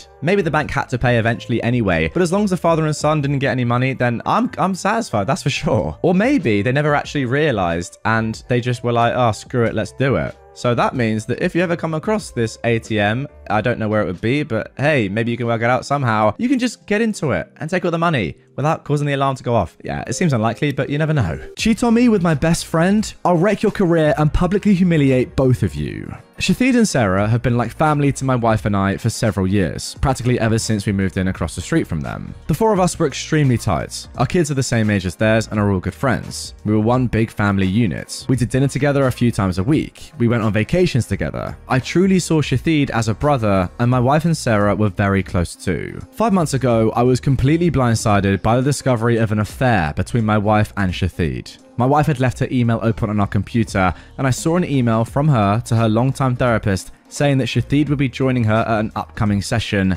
again. Uh, what the frick? My mind started racing. Why in the world would Shahid be going to her therapy sessions without my knowledge? I did a search and found some other emails to and from the therapist proving that Shahid had been going to sessions together with her for about six weeks. I checked our mobile phone account and discovered that since late summer, they'd been exchanging hundreds of texts every day, peaking at nearly 500 per day by the holidays. Speaking of the holidays, my wife and I hosted both of our families, parents, siblings, etc., for both Thanksgiving and Christmas dinner, and Shahid and Sarah joined us either for dinner or after dinner on both holidays. Text records show that the entire time that they were at our house celebrating with our families, my wife and Shahid were texting each other across the room. They were doing that pretty much every time the four of us hung out, for months and, you know, all day, every day, just in general. But what bothers me the most is that they were doing it with Sarah and I right there. I confronted my wife with the evidence, and she admitted that yes, she and Shahid had fallen in love. It just happened. I don't know how, but I love him, and I just don't feel anything for you anymore. I'm sorry. They'd gone on a school district trip together. Something had happened in her hotel room, and things had moved quickly from there. She explained as I lay face down on the couch, unable to look at her, that they'd already made plans to move out and divorce me and Sarah,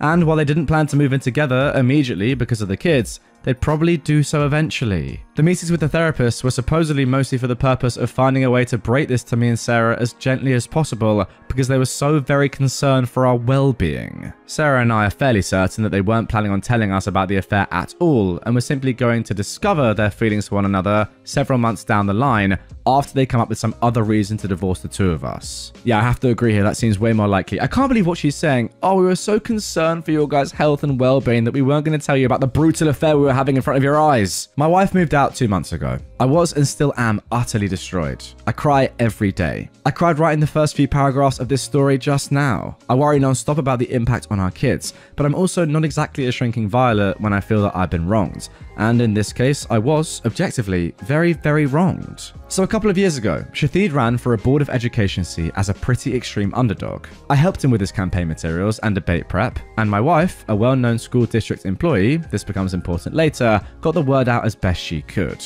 Much to our surprise, he actually won in a squeaker by just a few dozen votes. Being on the board became the center of Shahid's world. He joined every committee that he could. This turned into the foundation of his affair with my wife, as they were constantly going to school events and meetings together on evenings and weekends. Once I discovered the affair, my thoughts turned pretty quickly to revenge, and it occurred to me that an extramarital affair between a member of the Board of Education and an employee of the school district was at least bad politics, and it possibly violated district policy. Making things far worse for them was that my wife was in the running for an open administrative position, and everyone knew that she was more or less guarantee the job and the major pay raise that came with it. She just finished her master's degree in school administration at the urging of her principal and the superintendent so that she could be promoted to this specific position. I had plenty of evidence of the affair. Text from both of them admitting to it, text records showing that they were texting hundreds of times a day, emails to and from the therapist, etc. I considered simply emailing all of the evidence to the board and the superintendent, but felt like I, as the grieving, betrayed spouse,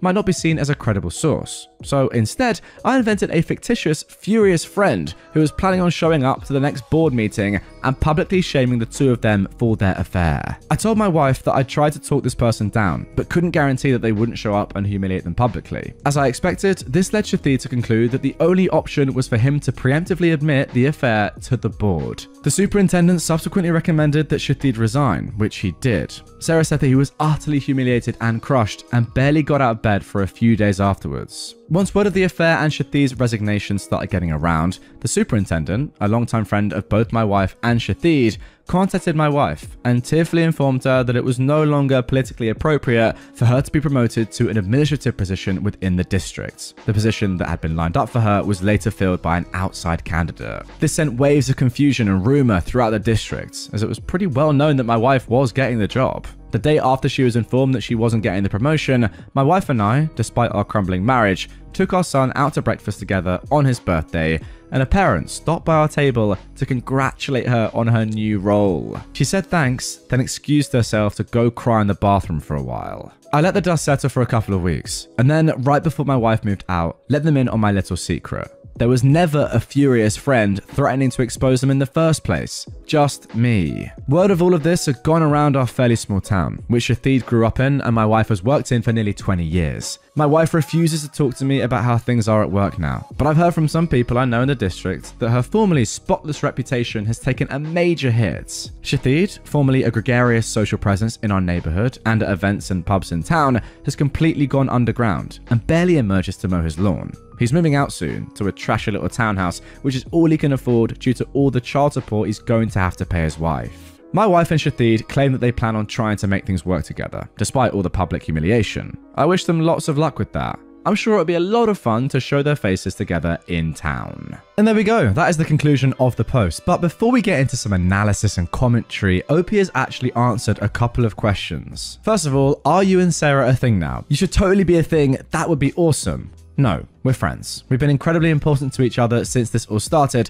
and have certainly gotten a lot closer, but not in the way everyone's thinking. This would all be so much harder to deal with if I didn't have her to lean on, and she says she feels the same way about me. We're going through basically the exact same situation with the same players, after all. Shahid hasn't moved out yet. Once he does, we plan to go back to getting the kids together more often like they used to. It'll never be the same, of course. She already does come over with the kids from time to time, but it's just tough with Shahid's constant presence across the street. Next question. Didn't your revenge hurt both sets of kids? Well, not really. Shahid has a day job. The Board of Education was his hobby and his passion, but this didn't affect his income at all. And my wife has been assured that if she wants to pursue an administrative position with another district, she'll have glowing letters of recommendation from her superintendent and principal. It'll mean giving up a lot of work relationships in the process, but given the hit her reputation has taken, I'm guessing she makes that jump sooner rather than later. In the meantime, not moving to an administrative job means that she still has summers off with the kids. Third question Why do you call her your wife instead of your former wife? Well, we're working our way through divorce mediation, but it isn't final yet. We'll be soon.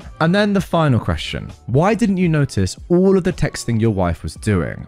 Well, I did. It was really starting to annoy me. It was excessive. She has a big social circle and does tend to text a lot anyway, but it was really getting over the top. At one point in November, I asked her to agree to a no phones at the dinner table rule, which she agreed to reluctantly, but would then pout through dinner and eventually she just started using her phone during dinner again.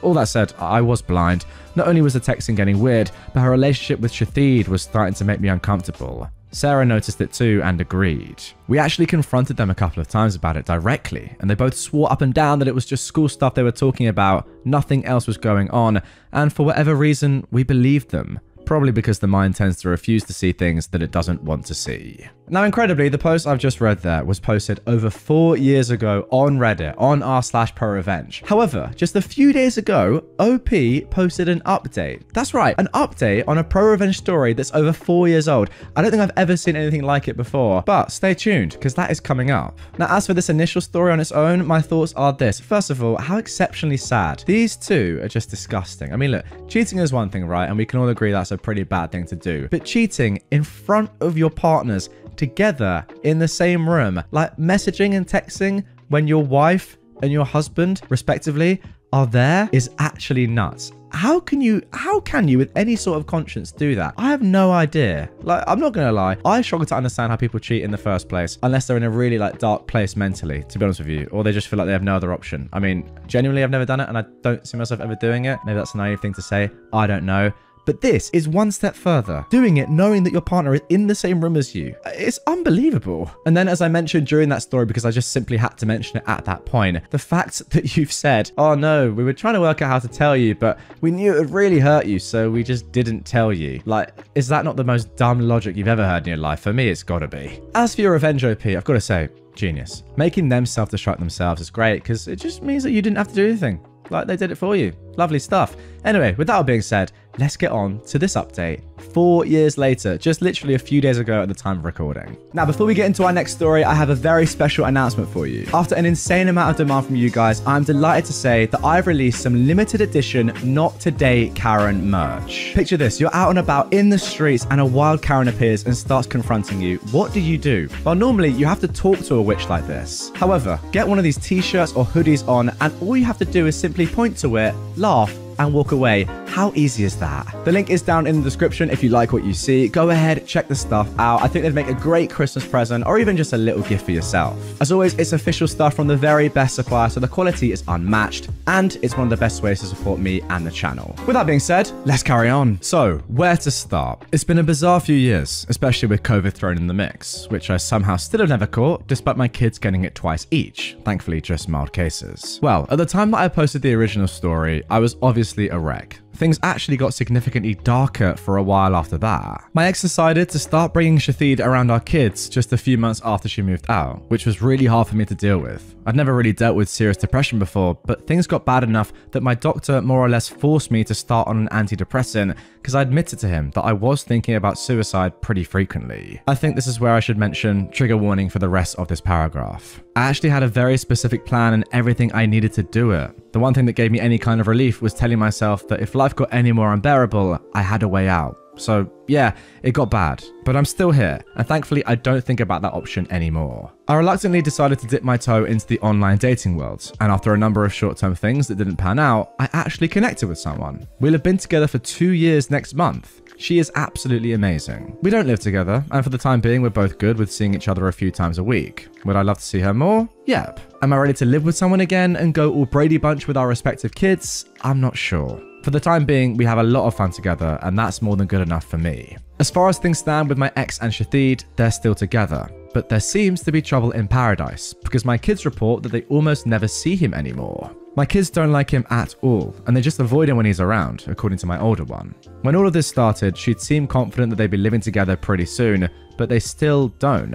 And as far as I know, there are no plans in the works for it. They did buy a boat together, which I find hilarious for some reason. It just seems like the classic affair couple thing to do. Sarah took a long time to accept that her marriage was truly over, but once she did, she really did an admirable job of moving on. She engrossed herself in home improvement projects, she remains the same incredible mum that she's always been, and she's been in a FWB type relationship, which is all she wants right now, with a nice funny guy for almost two years. We hang out here and there, especially when my pool is open in the summer. We aren't nearly as dependent on each other as we were in the beginning, but we're still close friends. And no, still nothing more than that, which I'm glad about, because the one thing this situation definitely never needed was more drama. My ex left the school district she was working for and took a job in a neighbouring district. I've no idea what Shahid is up to, nor do I care. I hardly ever see him except at the occasional school event. For a while there, I was worried that he'd look at me the wrong way, and I'd wind up in jail for knocking him out in an elementary school cafeteria or something. But I just don't care enough about him anymore for that to be a concern. So all in all, life is pretty okay right now. I do miss being a family, I still have nightmares about all of this stuff and deal with intrusive thoughts at times. I fall asleep to audiobooks now to keep those thoughts at bay.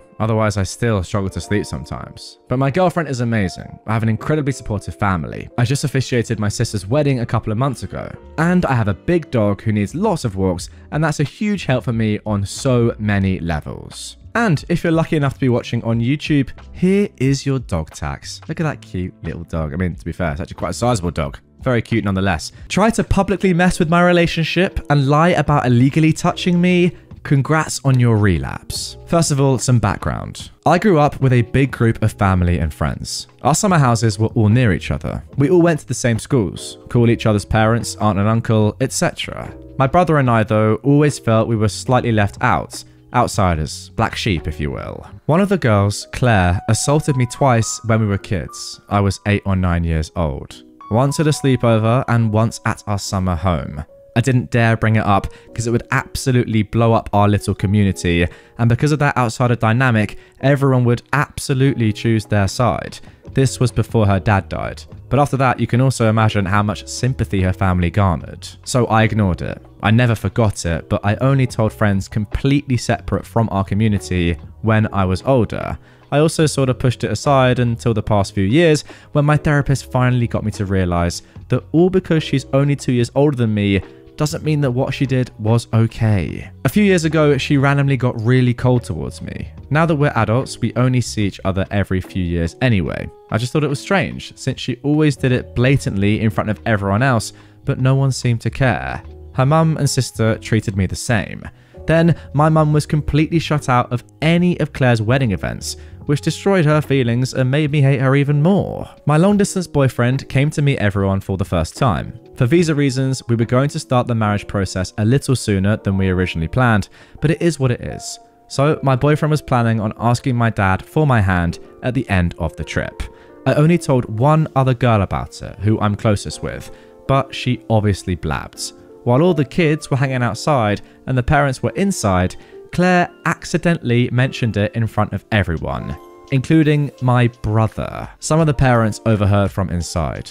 Now I have about 25 people in our private business. Claire was so obviously pleased with herself. My dad can be kind of reactive when he's not expecting something, so the publicity of this made him even more frazzled. And when we brought it back to the house, everything was basically ruined.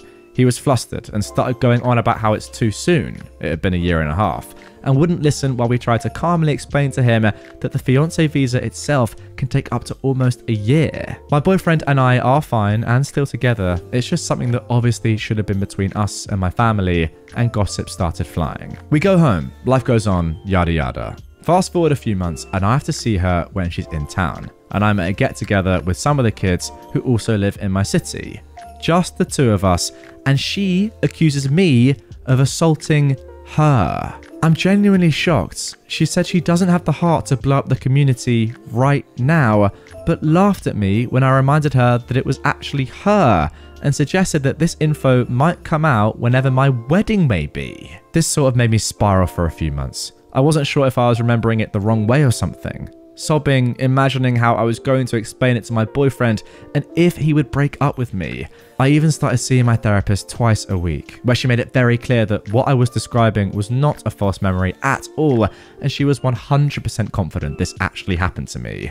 And apparently, Claire turning it on me isn't uncommon. A very important piece of information Claire is a coke addict. Massively, massive cokehead, doing lines to start the day cokehead. Went to rehab where she met her now husband. Yeah, she's been sober a few years, but she looks absolutely horrendous. I used to do it recreationally. I quit a little while back. I just really hated the come down. So we see everyone a few months later. We're all hanging out at her family's summer house. When we're alone, she hints at DMing my boyfriend before the weekend is over, obviously not knowing that he's already in the loop. I walked out, I was so angry, and decided I'd start getting ready for bed. I went to the bathroom and I'd packed my toiletries in a bag that I hadn't used in a long time, where I found a baggie of old Coke. And her toiletry bag was also in the bathroom. I snapped. I took the baggie, sprinkled a little bit on her toothbrush, chapstick, and mixed some into the oil she uses for oil pulling before leaving the ensuite bathroom and slipping the baggie into a pocket in her purse. And it happened. Exactly what you'd expect. I don't know when she found the baggie, but two nights later, when she said she wanted to go on a walk alone, I knew she was going to meet a dealer. A week later, she overdosed, went straight from the hospital to rehab, and apparently her husband is considering at least a separation. I broke down and told my boyfriend. I wouldn't say he was pleased, but was surprisingly supportive and said if anyone deserved it, it was her. I realized then that I actually didn't feel bad for doing it. I was just scared that it was going to cost me my relationship. But it didn't. My dad is now on board since we've been together a little longer and we've filed the visa paperwork. I probably won't see her for a few years and I'm not sure if I'll let her know subtly what I did. But screw you, Claire. The next time we see each other definitely won't be at my destination wedding. Well, guys, if you thought the first story was pretty crazy, um, how about getting an ex drug addict back addicted to coke. I mean, that is a definition of nuclear revenge, I will say. Unbelievable. I don't even know what to think about that. I mean, the thing is with the first one, right? OP said, I know I'm not the good guy here. Now, in the second one, there's not even a, a, hint of an edit, a hint of remorse. It's just, yes, I know what I did was so bad and I don't even care. And my, and my boyfriend supports it as well. My fiance now, nuts. Absolutely nuts. Wow. I mean, dabbing it on a toothbrush to get someone re-addicted. My word. That is the level here, my friends.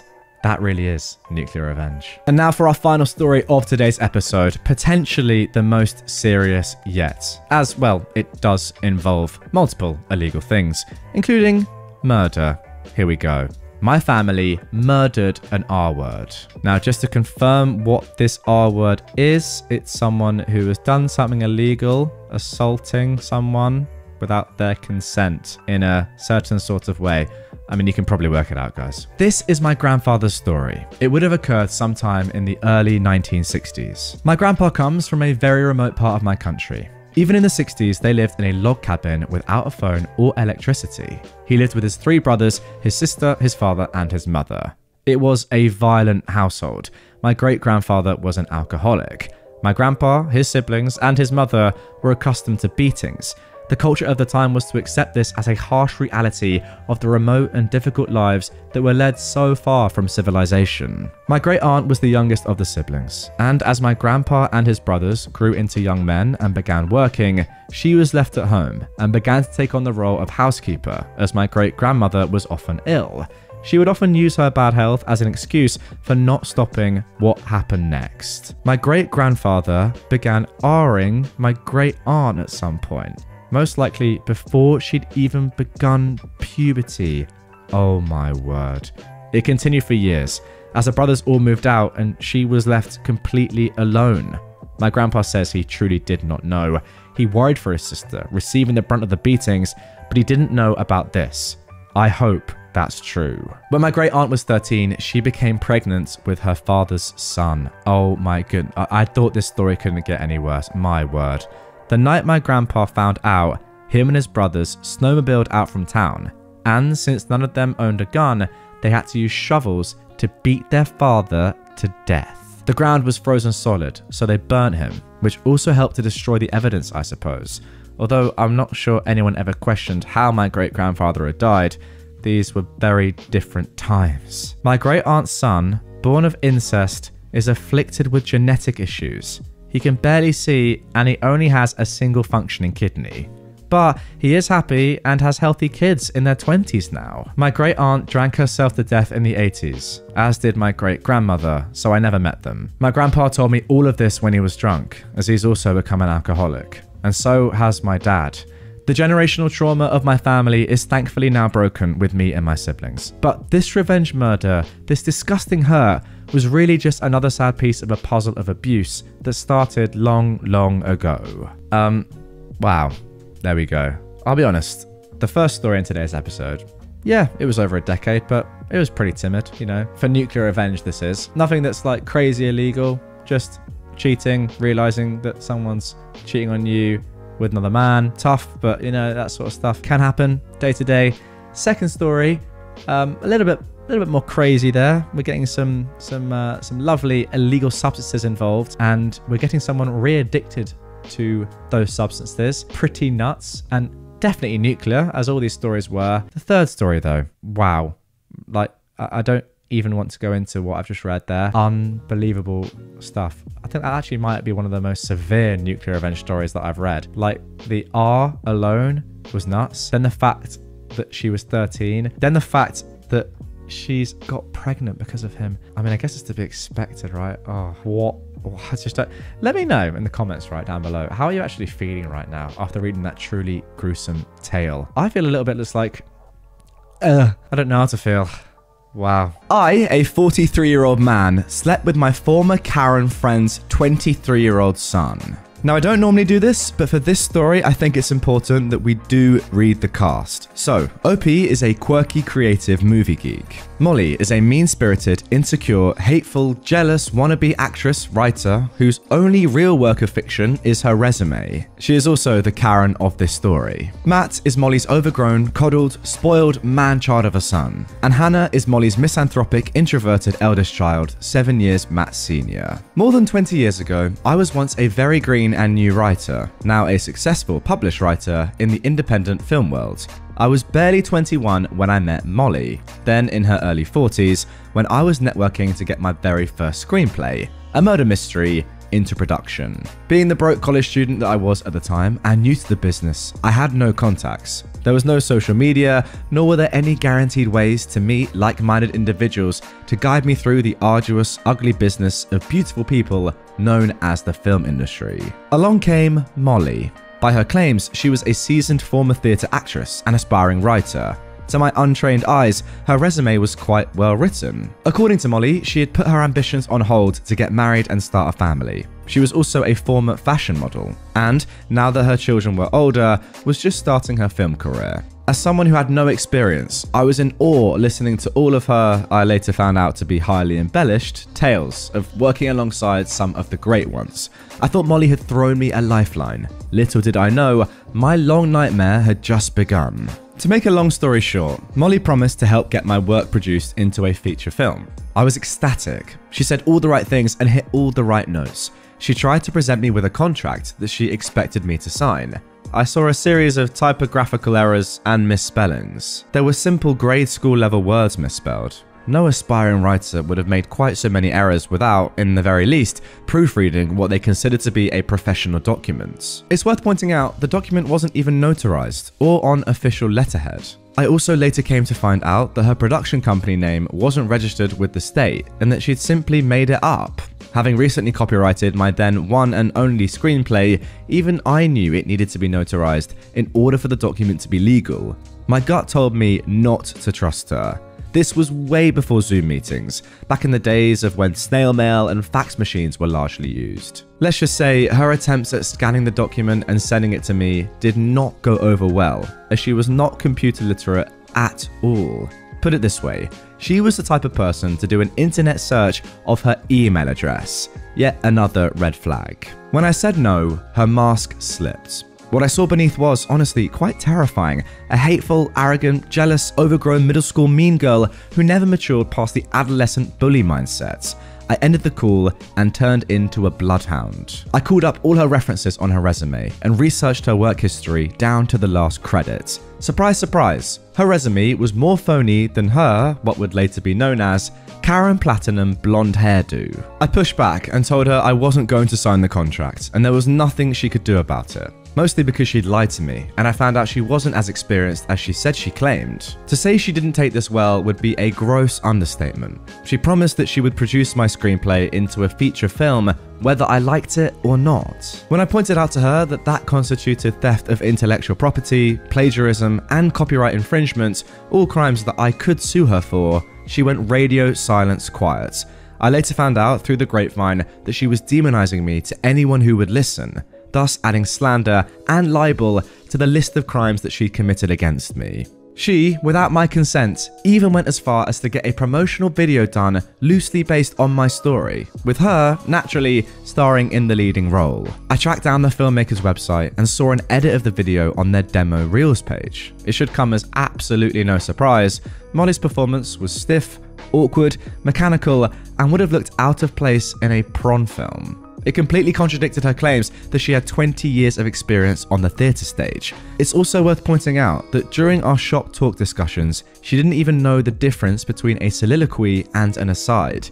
Even high school sophomore English students know what those two terms mean. I gathered piles of evidence against her, and in the process of doing my research, it was a file that was at least 10 inches thick, I learned I was not the first person she tried to screw over. If it isn't clear already, Molly was a total narcissist. She had no respect for boundaries, zero comprehension of the word no, no accountability, and never thought beyond the moment. Therefore, she had no expectation or understanding that there are reprisals and consequences for her actions. To say I was livid upon learning that Molly had stolen my literary property and tried to turn it into her own little vanity project would be sugarcoating it. I decided to contact the director and producers directly. I scanned my copyright certificate and sent a very eloquently written email to them declaring that I was the sole creator, owner of the work that Molly had presented to them. It should come as no surprise that she had claimed she'd written it and was going to produce and star in the feature film based on it. The documented proof that I sent the director and his production team completely refuted her fraudulent claims. I really don't know what Molly hoped to achieve by doing any of this. As anyone who knows anything about the seriousness of copyright laws knows, she would have had to prove proof of ownership when it went to production. Of course, she was incapable of proving such proof as it did not exist. A zero budget promotional video based on her written work was a different story. It was a labour of love for everyone involved.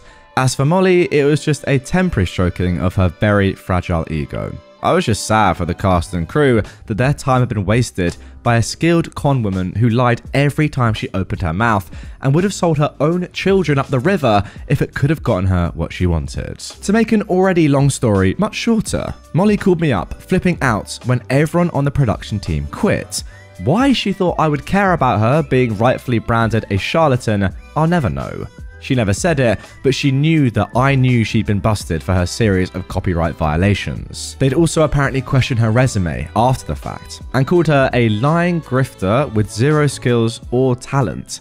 Apparently, she did not take this well and she cussed them all out. Having seen her true colours, they distanced themselves from her. I can only surmise that they, at the bare minimum, did not want to be involved with someone who was a proven liar and a thief. Word travelled, and Molly became a pariah in her state of residence. In my last phone call to her, I granted her one last concession. I told her if she wanted to salvage anything resembling a career, she would have to move far away where no one knew her. Last I heard, she ticked off well over a hundred people with her unethical, immoral, unprofessional, and downright illegal business practices. She'd made her bed of nails and was forced to lie in it. Flash forward to present day. I'm actively working in the local film industry of my current state. I decided to go out with some of the crew and cast of a project I was working on. We went to a gay bar. Yes, I'm out and proud. The city we were in is very liberal and open minded. The club was amazing, as was the drag show. I saw this young man at the bar with sandy blonde hair, a chin strap beard, and beautiful hazel eyes. He was pretty toned too, with a forearm tattoo of the US Navy insignia on it. Being an Air Force veteran myself, we started talking military stuff. I thanked him for his service. I asked him to let me buy him a drink, and he obliged. I asked him his name. He said, Matt. Since this club let anyone in that was 18 or over with a valid form of ID, I wanted to make sure he was legally old enough to drink before I bought him that beer. I kindly asked him to show me his ID, and he complied. I was surprised that he did, as he didn't have to. I saw his first name was in fact Matthew, his middle name Joseph. His last name, a distinctive moniker that I will not share here as that would constitute doxing. I saw his birthday, and I remembered that Molly's son had the exact same date of birth. Naturally, being Molly's son and his mother being married to Matt's father, they all would have the same last name. I suddenly realised that this was the son of that same horrible woman, who, at one point, made my life a legal living hell. It had been many years since we'd seen each other, Matt didn't recognize me. My appearance had changed quite a bit. I neither had bushy, shoulder length surfer dude hair nor wore contacts. I'm in the best shape of my life as I work out 5 out of 7 days a week. I have a clean shaven head and I wear glasses now. Since I do have an acting background, I was able to hide the shock of this strange coincidence. That the formerly ill mannered, bratty, poorly behaved holy terror that was Molly's son had turned into this strapping 23 year old, 6 foot tall, sexy, well toned twink with a reddish brown beard. Him being in a gay bar was the ultimate irony and icing on the cake, as Molly was, when it was convenient, a huge Bible thumper. We both drank for at least another hour while we talked. We were enjoying each other's company and had lost track of time. By the time it was last call, both of us were buzzing, but didn't want to risk getting a DUI. We decided to Uber over to a nearby hotel. We checked in, went to a room, and it only had one bed. Awkward. I said I would sleep on the couch. The air conditioner had made the room really cold, and he asked me to sleep in the bed for warmth. I knew what he was suggesting, I just didn't expect him to be so overt about it. Then again, his mother wasn't really known for having tact either. I told him that was up to him. I was a hot sleeper and had planned to sleep in my underwear. I started stripping down to go and take a shower, and he commented on my build. Matt blushed. You look really good. You must work out. I ignored the obvious come on. I smiled. Thank you. I do, at least five times a week. I also try to watch what I eat, but my weakness is salt and vinegar chips. Matt laughed and smiled a come hither grin. I'm not in near as good a shape as you. Don't say yourself short. You're taller than me, I said. Matt laughed at my bad pun. Alright guys, a little bit of a fair warning here. It does get a little bit raucous in this moment. I'm going to read it out because it's in the story, but you know, fair warning. If you want to skip ahead a minute or so, be my guest. I, I won't stop you. OP then says, Well, don't leave me in suspense. Let me see what you look like. I've shown you mine, show me yours. I said this with a sly smirk on my face and I shifted my eyebrows. I think he knew what I was suggesting. The next thing that happened, I did not expect. Matt completely stripped naked. Now it was my turn to blush. Okay, that was definitely an icebreaker. Matt took a step towards me and rubbed his hand over my chest. We don't have to do this, I said to him. I want to, Daddy, he replied to me. Sorry, I can't help but laugh here, guys. Remember, throughout all of this, that Matt is Molly's son. Matt just doesn't remember who OP is in this moment. But OP sure knows who Matt is, and this is all part of his revenge. Now, OP hates being called nicknames like that, but I let it go. Because, let's face it, I had this cute college age kid in my hotel room, and that was the only thing on my mind at that particular moment. I was fully out of my clothes and standing in front of him as we inched over to the bed. He laid me down and kissed me while caressing my chest. I'll spare you any of the squishy details. It happened. It was amazing. Matt chose the top bunk. The finishing move, I would give a 4 out of 5 stars. He was clearly inexperienced and could definitely use some practice, but it was fun. Now, good news, guys, that is the end of the Wattpad story. Let's get back into it. The next morning, while he was showering, I went through his phone and got Molly's as well as his sister Hannah's numbers. I'd seen him put in his passcode, his birth year, so it was easy to remember. Without getting too graphic, during the act, Matt had taken pictures of us in various positions, doing things to each other. Okay, sorry, seems like the raucousness has continued a little bit. No, it wasn't for an OnlyFans. Wow. We were both consenting adults, and I had no problem with that. I'm debating whether or not I should send the pictures to his dog mother and equally horrible half sister, Hannah. Because I'm not a petty, spiteful, cruel individual like Molly, I'm stuck at a moral impasse. I'm really on the fence about it.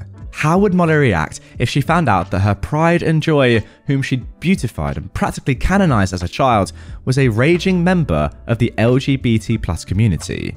Not that having a gay son should ever be considered a form of punishment, but Molly being the racist, homophobic, bigoted, feckless, Bible thumping, adulterous hypocrite that she is, I'm sure it would come as a big shock. In comparison to Molly, Matt's father was always more liberal minded, easygoing, and just wanted all of his children to be happy. He had three others with his first wife before he met Molly. I'm also pretty sure that Hannah wouldn't care at all about her little brother being a great big flamer either. If anything, I'm sure of one thing. If and when Matt comes out, he's going to see how very conditional his mother's love for him, if he doesn't even know that already, is. As a child, Hannah and Matt often went hungry, wore ill fitting clothes, shoes that didn't fit, rarely had supplies for school, had teeth rotting out of their heads, and lived in a house that looked like it belonged on hoarders. Molly, on the other hand, always had her hair done, her nails done, booze in the fridge, and a full pack of cigarettes. It's the important things that matter, right? And there we go. That is the conclusion of that story of revenge. Not entirely sure what to think about it. It was extremely well written. I did enjoy reading it, apart from maybe the, the Wattpad moment in there. Not entirely sure that was necessary, but hey, I I can never say that too much description is a bad thing. Maybe in that situation it was. I don't know. Good story though. I enjoyed it. Guys, what do you think? Did that revenge justify itself? Was that good enough? Was it even apt? Was it revenge at all, really? It seemed to me as if OP kind of wanted it to happen anyway. You know, it wasn't really revenge as such as maybe it was just you happened to come across a guy that you fancied and he just so happened to be the son of a horrible woman that you met in your past and that didn't really do the nicest of things to you and tried to steal your script. I don't know. I guess I'm trying to say that I think you would have just got with him anyway, right? Even if you didn't know who he was. Now, with that all being said, comment down below, guys. Do you think that OP should send those photos? For me, I just do not see that as necessary at all. I don't particularly think that stealing a script should lead then to the person's script that you stole sending photos of them with your son in some pretty uncompromising positions. Let's just say that to you. Uh, I don't really think that's justified, but hey, maybe I'm being a little bit too lenient. Get in the comments down below. What do you think? Should OP send those pretty raunchy photos? Um, and if you don't send them to Karen, hey, we can always send them to me my friend. Don't do that, please. Ex boyfriend violates me and denies it. I ruin his life. At the beginning of these events I'm about to share, I was 20 years old. I'm now 21. I was involved in a five month relationship with my ex boyfriend, Jack. He was also 20 and is now 21, who attends the same school as me. We started dating in December and I broke up with him in May. At the time, I was taking a gap semester from school for previous unrelated reasons to the events being told here, and was instead working full time. We went into this relationship both as each other's first. We were also subsequently part of leadership in a student run group, with both of us being elected shortly before I broke up with him. This is a story of what happened in this relationship, as well as afterwards, that subsequently resulted in me ruining his life. I toyed with keeping this story to myself, but the closure from my experience includes getting it off my chest, and maybe some internet strangers can help me feel a little better about everything that happened. I won't go overly specific to try and spare my identity, hence the throwaway account, but anyone who knows of the fallout probably knows who I am. To those, I stand by my actions. And if my ex is reading this, you deserve so much worse than what you got. You are subhuman scum. So then, parts 1 to 3 provide context and a backstory that were abbreviated to get the gist across, and part 4 and 5 is where the revenge starts. Part 1 The Start. I did not know Jack at first before we started seeing each other. A mutual friend, Bestie, introduced the two of us because we shared similar interests. We hit it off and went on a few dates over the span of a few weeks. One night, Jack came to my place. We watched a movie and cuddled through the night. This was what I consider the official start of the relationship. We were seeing each other pretty much daily, even when he went home to visit his family. I lived within reasonable driving distance. The relationship moved in a way I consider relatively quick in hindsight. He also gaslit the words, I love you, out of me two weeks in by misshaping words I spoke into the phrase. Jack also mentioned shortly after we started dating that he had a previous ex in high school who was closeted, but the details I have are relatively faint. They were all disclosed by him. He mentioned that this relationship abruptly ended when the high school ex accused him of the R word, telling his friends, his high school admin, and his family. This reportedly drove my ex to therapy and ruined his social life. My ex swore up and down that he would never do such a thing to anyone, but wanted to be upfront with me at the beginning. Though we were pretty much exclusive at the time he disclosed this. I, obviously taken aback by this, didn't think that he was capable of something like that, and I told him as such, and I comforted him for sharing such a vulnerable experience with me. I largely forgot about this afterwards though. Part 2 The Relationship. When I first started dating Jack, we discussed our preferences, what we were looking for, the standard relationship spiel. He told me that he was looking for someone masculine, and I told him I wanted the same. We both assured each other we were masculine figures, but only one of us was telling the truth, which I'd come to find out during the relationship. He was honestly quite femme presenting. He would say things even before we started dating that, in retrospect, seemed somewhat off putting or outright manipulative without raising red flags at the time. Again, this behavior became habitual throughout the relationship. Shortly after I started dating him, I joined a student run design group that Jack was a prominent figure of. I've been exploring joining this group or one similar to it, but dating him at the time gave me the confidence to move forward with it.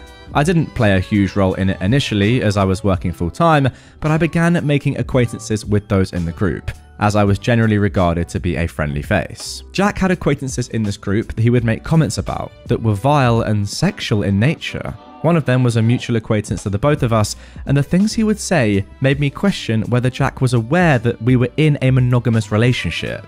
These comments seemed to be attempts to invoke jealousy to me, but I never gave in. However, they only perpetuated the red flags that he was giving off. Part 3 My own doubts, the break, and the breakup.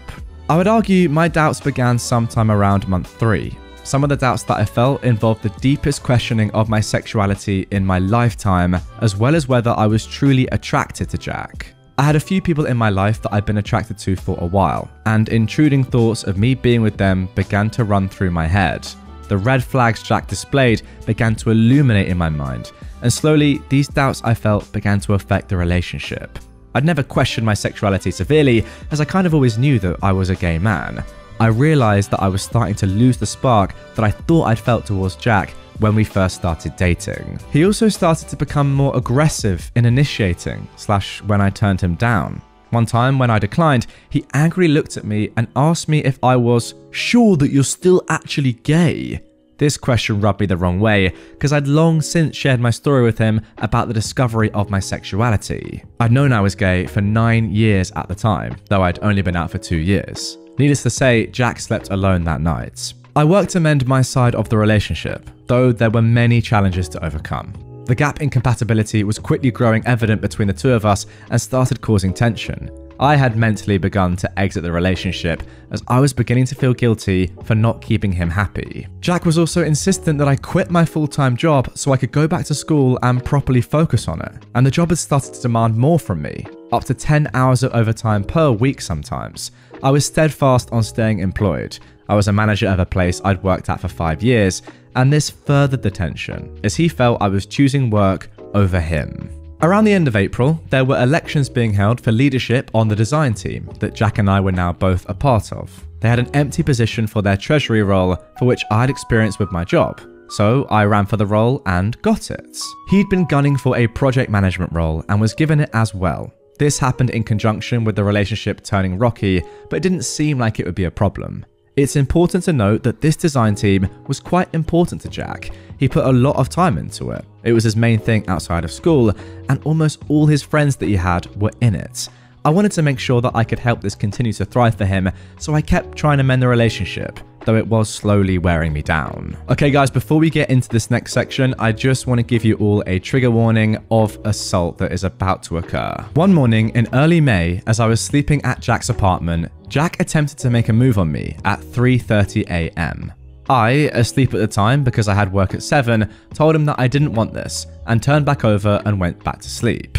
This seemed to stop him, but only temporarily. I stirred again at about 5.30am because I felt something on me. Jack was now on top of me. I tried to fall back asleep, but he continued, then proceeded to finish on top of me. I, disgusted, got out of bed and showered to get ready for work. He didn't say anything to me in this time frame, not even an apology. As I was about to leave his apartment, he stopped me and said that we should take a break. I tearfully agreed and left for work feeling like I'd done something wrong. The break was mentally relieving and challenging for me. I felt right being apart, but didn't feel right about everything that happened.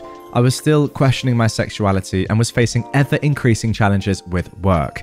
I was tasked with managing two departments at once and worked almost every day during the break. I didn't talk to any of my friends about the break because I felt like I was the one that caused it. A few days later, Jack called me because he couldn't stand not being with you and wanted to be together again. I reluctantly eased back into it, but I'd mentally known the break was the beginning of the end.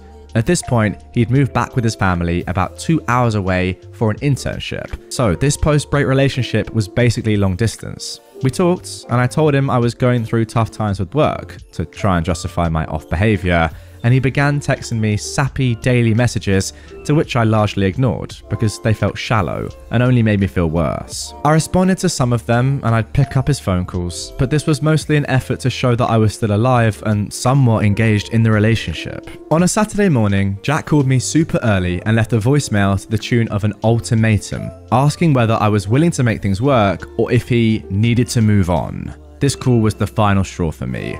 I knew that this was when I needed to end it. I wrote a brief letter, called him back, and I read it to him. I broke up with him over the phone. This was not my finest hour, but he left me no choice. He was entirely taken aback by me calling the relationship off and tried to ask me to make it work manipulatively. I ended the relationship amicably because I thought I'd done something wrong, and he agreed that we could remain friends. He called me early the next morning, begging me to reconsider though, and that we could work it out. The phone call woke me up this time, and I simply told him goodbye. I went to work that afternoon and had a mental breakdown. I felt guilty for the breakup and felt like everything that happened was my fault. I wound up putting my two weeks in at my job. I wound up staying and I'm still employed there though, unbeknownst to him, and I texted Jack that I'd done so. He responded that he was happy for me, and that is the last direct communication I have from him. Part 4 The Discovery. The summer was relatively refreshing for me. I began to work on improving myself, made some new friends, and cut back my work to a healthy amount, all while getting back to my school course load. I didn't talk to Jack at all during the remainder of summer. In fact, I didn't even see him until late August after full classes resumed, when he passed by me with a new guy, let's call him New Boy. When I saw Jack walk by with New Boy, he pretended not to see me, but I couldn't hold back an ugly cackle. Jack clearly didn't want anything to do with me, but the cackle was from seeing Jack with someone new, because the manipulative statement he'd made when I dumped him became obvious. New Boy was not exactly a good looking guy either, which only added insult to injury.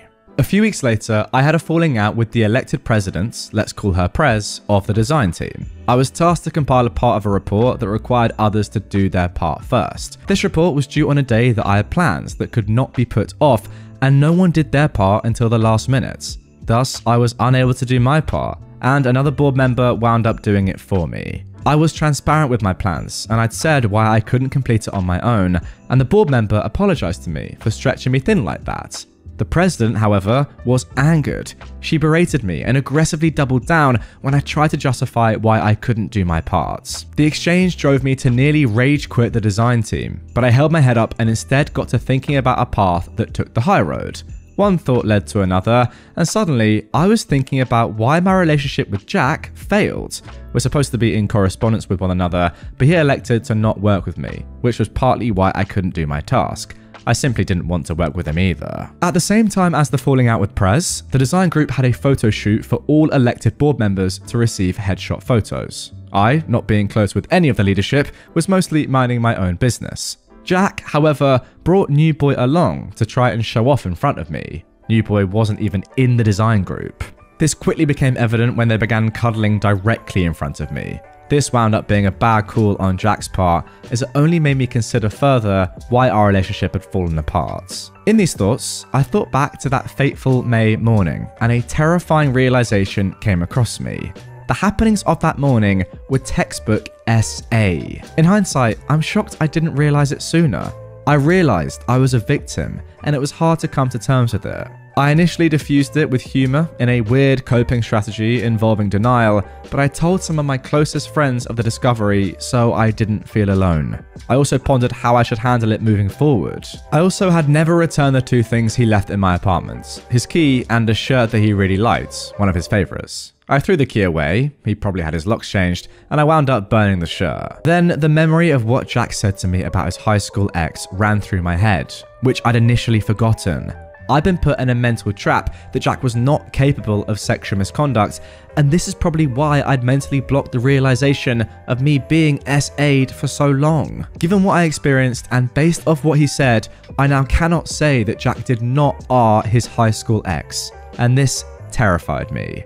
I knew what I needed to do. I didn't believe that approaching Jack was the best move, but I felt that I was under heightened pressure since he started dating New Boy and that he could potentially do it again. Part 5 The Reporting. Given that it took me over five months to discover the assaults, pressing charges was out of the question. I needed some form of administrative documentation if I couldn't press charges, and I wanted this by the book because I was disgusted that I was so severely wronged. Fortunately, my school has a program for Title IX that handles sexual misconduct. So I called them up and filed a report. In this report, I outlined in detail the happenings of that May morning and requested an informal resolution, where my report was documented but an amicable agreement was to be reached between Jack and I. There was a formal route that could result in academic repercussions as it went in front of a student honour court, but given my lack of hard evidence, there was an extremely high chance of the case simply being thrown out like it never happened.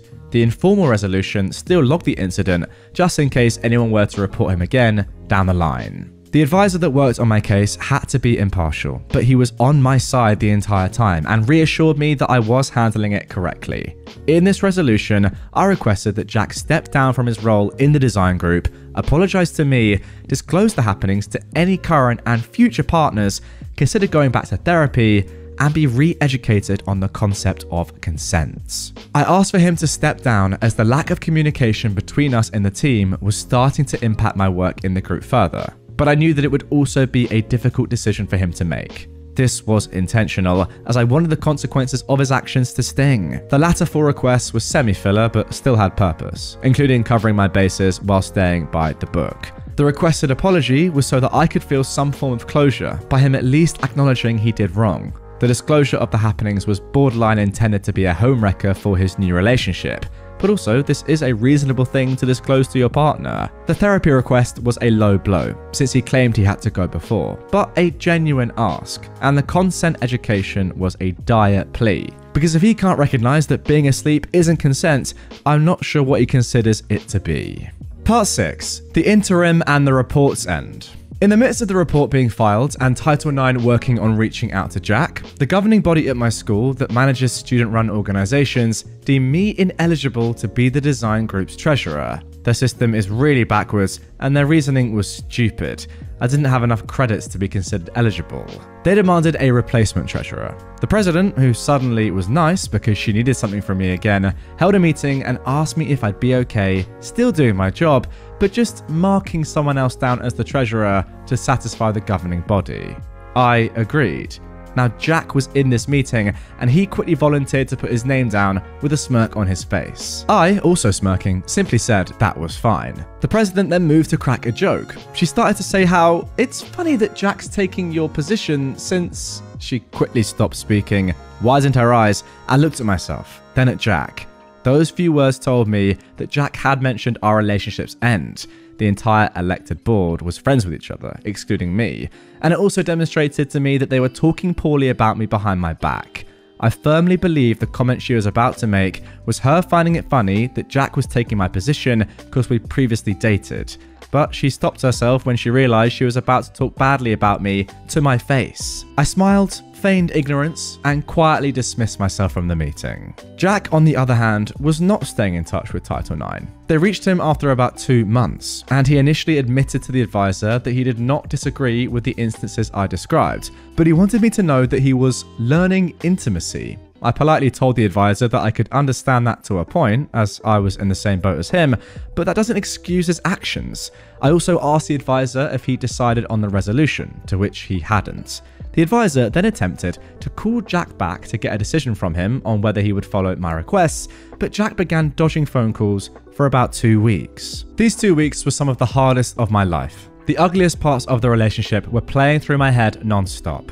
I was drinking nearly nightly to ease my mind, not my proudest hour. I wrote a long emotional letter regarding my thoughts that was subsequently emailed to Title IX. I did this to document the feelings I had while further strengthening my case, which to people outside of myself was relying on anecdotal evidence. I called Title 9 back, expressed my concerns once again, and they thanked me for the letter because it provided additional perspective from my side. I requested that when they reached Jack to give him this ultimatum. He needs to step down. I also asked they let him know that if he chose not to, that I would step down, but be thorough in explaining why I stepped down. I worded it intentionally because I'd begun to plan my exit with the design group, and I was banking on Jack valuing his pride over accountability. I was right. After those two weeks, Jack finally picked up and told Title 9 that everything that happened was consensual. I'm not stepping down, and that's all I have to say. Title 9 immediately called me with the news. I was simultaneously shocked, but not surprised. Even the Title 9 advisor was floored that Jack had doubled back on his previous statements. I asked if the previous words or admission would hold up if I were to press charges, but because Title 9 is protected speech, it wouldn't fly in court. I thanked the Title 9 advisor for his help, knowing exactly what I needed to do. Jack had said the exact words needed for me to do my part all I have to say. Part 7 The Disclosure. The aforementioned call came to me at 3 pm on a Friday, shortly after I got home from classes. Less than 20 minutes later, I was sitting in the office of the design group's faculty advisor, we'll call them faculty advisor. I told him what happened and what I was planning to do, including my resignation. Jack's misconduct had not only wrecked my mental state, but because I was outright afraid of being around him, I was hardly participating in the design group outside of my administrative duties after I discovered I'd been assaulted by him. The faculty advisor was extremely sympathetic with what I was describing and directed me to hold a meeting with the elected board, including the president, to announce my departure. He gave me otherwise free will to figuratively set off a bomb. I organised a meeting with the entire board for the following Monday, sans Jack, and alerted them that the meeting was important, all while keeping the operation under wraps from Jack. Come the Monday meeting, I'd created a fun PowerPoint presentation that created a quick slideshow touching on all the topics mentioned above. The board arrived slightly tardy and were chattering amongst themselves until I launched the PowerPoints with the words Wake Up Call displayed on the screen. I thought the title was clever, Oh, wow, I get it. I started by thanking them for showing on such a short notice. I announced my resignation, a background of our relationship, what Jack did to me, and what I did, including making the Title 9 report and what's involved by doing that. The board sat there in silence, absolutely stunned at what I was presenting them. I further went on to delegate my treasury duties, offering to assist anyone that needed it aside from Jack. I slyly mentioned that Jack was definitively the one responsible for my duties due to his quick volunteering before, and I looked at Prez directly when I said it. The look in her eye at that moment was sheer terror. That moment of his volunteering and her comment afterwards flashed through her mind. I paused for a moment to regain my composure. It was a hard presentation. I held back tears giving it. Then I continued on. I read the group's governing documentation and pasted portions from it in the presentation. I outlined their impeachment process, and I recommended that they vote to remove Jack from his elected position. I tossed in the group's zero tolerance policy on sexual harassment in the presentation for good measure. I reiterated that Jack had violated me while I was unconscious and questioned how anyone could ever consider those acts consensual or humane. Everyone else in the room was crying by the end of the presentation, which somewhat surprised me at the time. Again, they were all friends with Jack, but were not close with me. They thanked me for telling them what happened and told me they needed time to process everything, but that they would keep me updated on what they chose to do. The board also asked me if I would reconsider staying if he stepped down or was otherwise removed, to which I told them no. My justification was that my impact in the group was too deeply impacted by his behaviour, and that staying around would only be keeping my wounds open. I left the meeting with a huge weight taken off my shoulders. Part 8 The last interaction with Jack. I walked back to my car after the meeting and texted a professional resignation message in the group's communication channel, citing personal reasons and wishing the best for the group. This would be the first of the communications that Jack would receive related to the meeting that had just happened. I directed any Treasury concerns to Prez while they worked to appoint a replacement. These communications were kept professional as I intended to come out of the situation with grace. Any malice could have disrupted my efforts to be credible. I then drove over to the faculty advisor's office with the intent of catching him up on the meeting that happened. I instead pulled into the parking lot to see Jack's car parked outside. I thought to myself, Oh, great, he's probably inside. This might be fun. Coincidentally, Bestie was also stopping by the building, and I ran into her in the parking lot. I hadn't seen her in a while, so we hugged, and I told her that I'd just stepped down from my position and that I was doing pretty rough. My mind was still quite fogged from the meeting I just left. I told Bestie that I wanted to talk, but right then wasn't a good time, and I invited her to talk later. She was entirely unaware of the happenings between Jack and I. She knew we broke up, but not why. As I turned to move inside, I saw Jack sitting inside his car, and I realized exactly what had just happened. From his perspective, he thought he dodged the Title 9 bullets. He just saw me hug Bestie, our mutual friend, and had likely been reading the resignation message I had sent. Furthermore, I was going into the building where the design group runs out of, which was, not proudly, a relatively rare sight.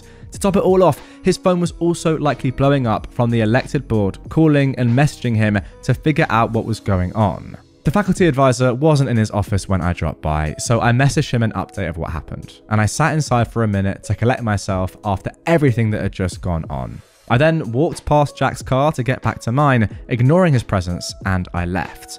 I couldn't imagine what Jack was feeling at that moment, though it was likely some combination of terror and shock. Selfishly, it made me feel good. Part 9 The Fallout. The following day, the rest of the elected board reached out to me, mostly individually, to express their sympathy and check in with me. I'd kept what happened to about 8 pertinent individuals in order to not paint the entire group in a bad light. I still wasn't sure if the group was going to follow through with the request that I made to remove him, or if they even believed me. Well, it turns out they did. That evening, I received a notification from the elected board's group chat, as well as the group's general chat, with a message that tagged everyone from Jack, stating that he was resigning immediately upon facing immediate removal. He name dropped me in that message and stated that I'd made false allegations that were investigated by the school and dropped. They weren't dropped, Title IX doesn't simply get dropped. He also claimed that he sought legal representation for the claims. None of what I did was illegal, so I call BS here, and he stated that he was disappointed by his friends. He spun it as them choosing false claims over their friendship. He then somehow sent this message as an email to every person who'd ever been a part of the group at my school. 700 plus people get this email with my name on it at 9:30 p.m. at night and my direct messages start going crazy. Why did I get this? What's happening? Are you okay? I don't know what's going on here, but he seems like he's hiding something. What was alleged? These are just some of the messages I got. I responded to most by simply stating that no one should have ever gotten that email, but to not worry about me. But I was livid. The faculty advisor messaged me, and he was livid. The entire elected board was livid and in shock that he'd just sent that message. I messaged the faculty advisor to meet the following morning so he could catch me up on the internal fallout that I'd missed. Turns out, the elected board immediately reached out to Jack and said that he needed to resign or face immediate removal. Jack threw a tantrum and sent out that message, which he felt vindicated himself from any wrongdoing. The message made the board even more convinced that they made the right decision because they thought Jack was hiding something with the defensive tone he held in the email. In this meeting, the faculty advisor also confided in me that Jack was banned from the lab space because of that email, which was extremely unprofessional and painted the entire group in a bad light. He name dropped the group in the email as well. Because of the severity of the email and the now on record events that had occurred between Jack and I, the dean of my school was also informed the faculty advisor reassured me that I had handled the situation properly and commended me for taking the high road. I'd not once spoken poorly about Jack to the elected board, nor did I drag the group through the mud, though I very much had the opportunity to do so. I made him aware of the conflict between Prez and I in this meeting. I also spoke to Bestie that day, who also received that email, and I told her everything that happened. She'd remained friends with Jack after our breakup, and she told me that he said I'd ghosted him. She'd not previously asked for my side. Remember those sappy text messages he sent before he asked if he should move on? Yeah. My not responding to all of those, I had responded to some, and I'd called him in between them as well, was what he'd framed as ghosting. So I cleared that air with her too. She was absolutely floored he could do such a thing, but we reconciled over many questionable behaviours that he displayed throughout my relationship and, independently, her friendship with him. And finally, part 10, the wrap up. With these events, I would say that I received my closure, or at least as close to closure as one can get in this type of situation. I don't think that Jack believes he's done anything wrong, but honestly, I'm okay with that. I simply stated what happened, and it caused a daisy chain of reactions that culminated in Jack losing almost every single one of his friends, as the heavy majority are in the group and were made aware of what happened, alongside his passion, which was the design group, and the space that he used to spend most of his free hours in the group's lab. He also lost the faculty advisor's respect, who was a very prominent figure in our school, as well as Jack's now former boss. The school is keeping an eye on him now, while also potentially considering disciplinary action on him. When I say that the group was important to Jack, I mean it. When he wasn't in class, he was usually working in the group or spending time with the friends in it. I don't know what he's doing now. And honestly, I don't care. I don't see him around anymore. Now, remember New Boy? Well, allegedly, Jack was still together with him at the time I gave the PowerPoint. To keep my stance of being professional through my actions, I'm not going to dig around to find out if that was the case. I don't know who the boyfriend is, and Jack doesn't have a social media presence. Yeah, I could ask Bestie, but I believe that New Boy received word of the incidences I brought forward. I suspect that Jack may be single as a result. Regarding the high school ex, I do not know who he is either, or if he even existed. This could have been a really screwed up lie that Jack made, though. I made my decision to report Jack in the first place by going off the assumption that what Jack told me was the truth, that there were previous allegations made. I gave him the opportunity to take accountability for his actions, but he instead chose his pride and ruined his life in the process. As I initially stated in the beginning, Jack deserves so much worse for what he did to me, and most of the karma he received was due to his own pride sparing actions. I would have sent him to jail if I could have, but the evidence I held would not be strong enough to put him there. He may not presently believe that he's done anything wrong, but those closest to him know that he did. And to me, the social repercussions he faced seem like almost suitable punishments. And there we go, that is the end of that one. Wow, what a story. An absolutely incredible tale. And I've got to say, throughout all of this OP, it would have been so much easier in your spot to just throw your toys out the pram. I'd say honestly validly because what happened to you was a pretty terrible thing. Let's let's all be honest here and just go crazy and be malicious and try and get the worst possible punishment on Jack you possibly could and throw the entire organization under the bus. Just go crazy, you know, just do what, let's be honest, you would have been completely fair in doing and just saying, no, I need as much justice I can possibly get right now and not caring what kind of fire you left in doing so. But no, you had enough patience and grace and decorum to go about this in a much, well, I don't know, calmer way, right? I really don't think I would have been able to do this given what you went through. But fair play. Being able to say, you know what, I could go crazy here, but I'm going to settle and do things the right way and just calm down and, and not ruin lives of people that don't deserve it, but just focus on Jack and ultimately let him cause his own demise because that's really what he did. I just want to mention one thing that you said at the end though, which I thought was interesting. You said you made your decision to report Jack in the first place by going off the assumption that what he told you was the truth. There were previous allegations made. Now, fair enough. The fact that there were previous allegations obviously makes this guy more concerning, but there don't have to be previous allegations for you to report somebody who has done that to you. Yeah, the fact of the matter is that if other people are saying this, then of course it is more likely that it's happened in the past. But the fact of the matter is, it happened to you, and therefore report it as much as you want. I had a male member of staff try to force himself onto another staff member, a female. She chose not to press charges, but that didn't sit right with me. To preface, I live in a country that employs a large foreign expat workforce in pretty much every industry and in all levels. For someone to move here for work, they have to be sponsored by a company or the individual that's employing them. I own and operate a small restaurant business here and employ more than a handful of foreigners as servers, cleaners, kitchen staff, drivers, etc. So here's the story. I was lounging on my couch enjoying the last of my weekend one day when I get a call telling me that one of our sponsored employees, a server, let's call her Janice, was picked up for indecent exposure essentially. Long story short, she was caught hooking up with a guy in a private booth at a local restaurant. Basically, the police walked in on them whilst engaging in some seriously heavy petting. They were fully clothed, but the guy she was with, or practically on top of, I should say, had his junk out. It turns out he works at the restaurant two doors down from where she worked. After a bit of chastising and threatening to escalate the situation and have them deported to sufficiently scare their senses back into them, they let them go. But not before signing a pledge type document promising to never repeat the offence or else. A slap on the wrist basically, and everyone got to go home.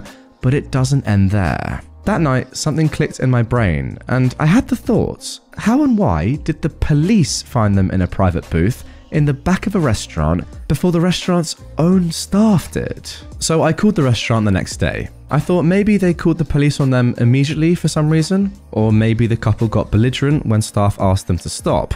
It turns out the staff didn't actually notice a thing. In fact, up until that day, the police have never been to that restaurant before. And when they did, they simply walked in, went straight to the back booths where the two were sat, and they busted right in. I realised that this meant that someone must have seen them and called the cops on them point blank. The question was, who? I decided to speak to Janice. I wanted to speak to her anyway that day, both to check in and get her version of the situation. I also gave her the employer, you know you did something stupid chat, and I reassured her that she is keeping her job. I also wanted to ask who she thought called her in. Without hesitation, she said it had to be Sammy, who was one of our drivers. Why do you think it was Sammy? I asked. Well, he's the one that dropped me off at the restaurant that day. He might have seen my friend walk in right after me and called the police on us, she said. Well, that sounds a bit drastic.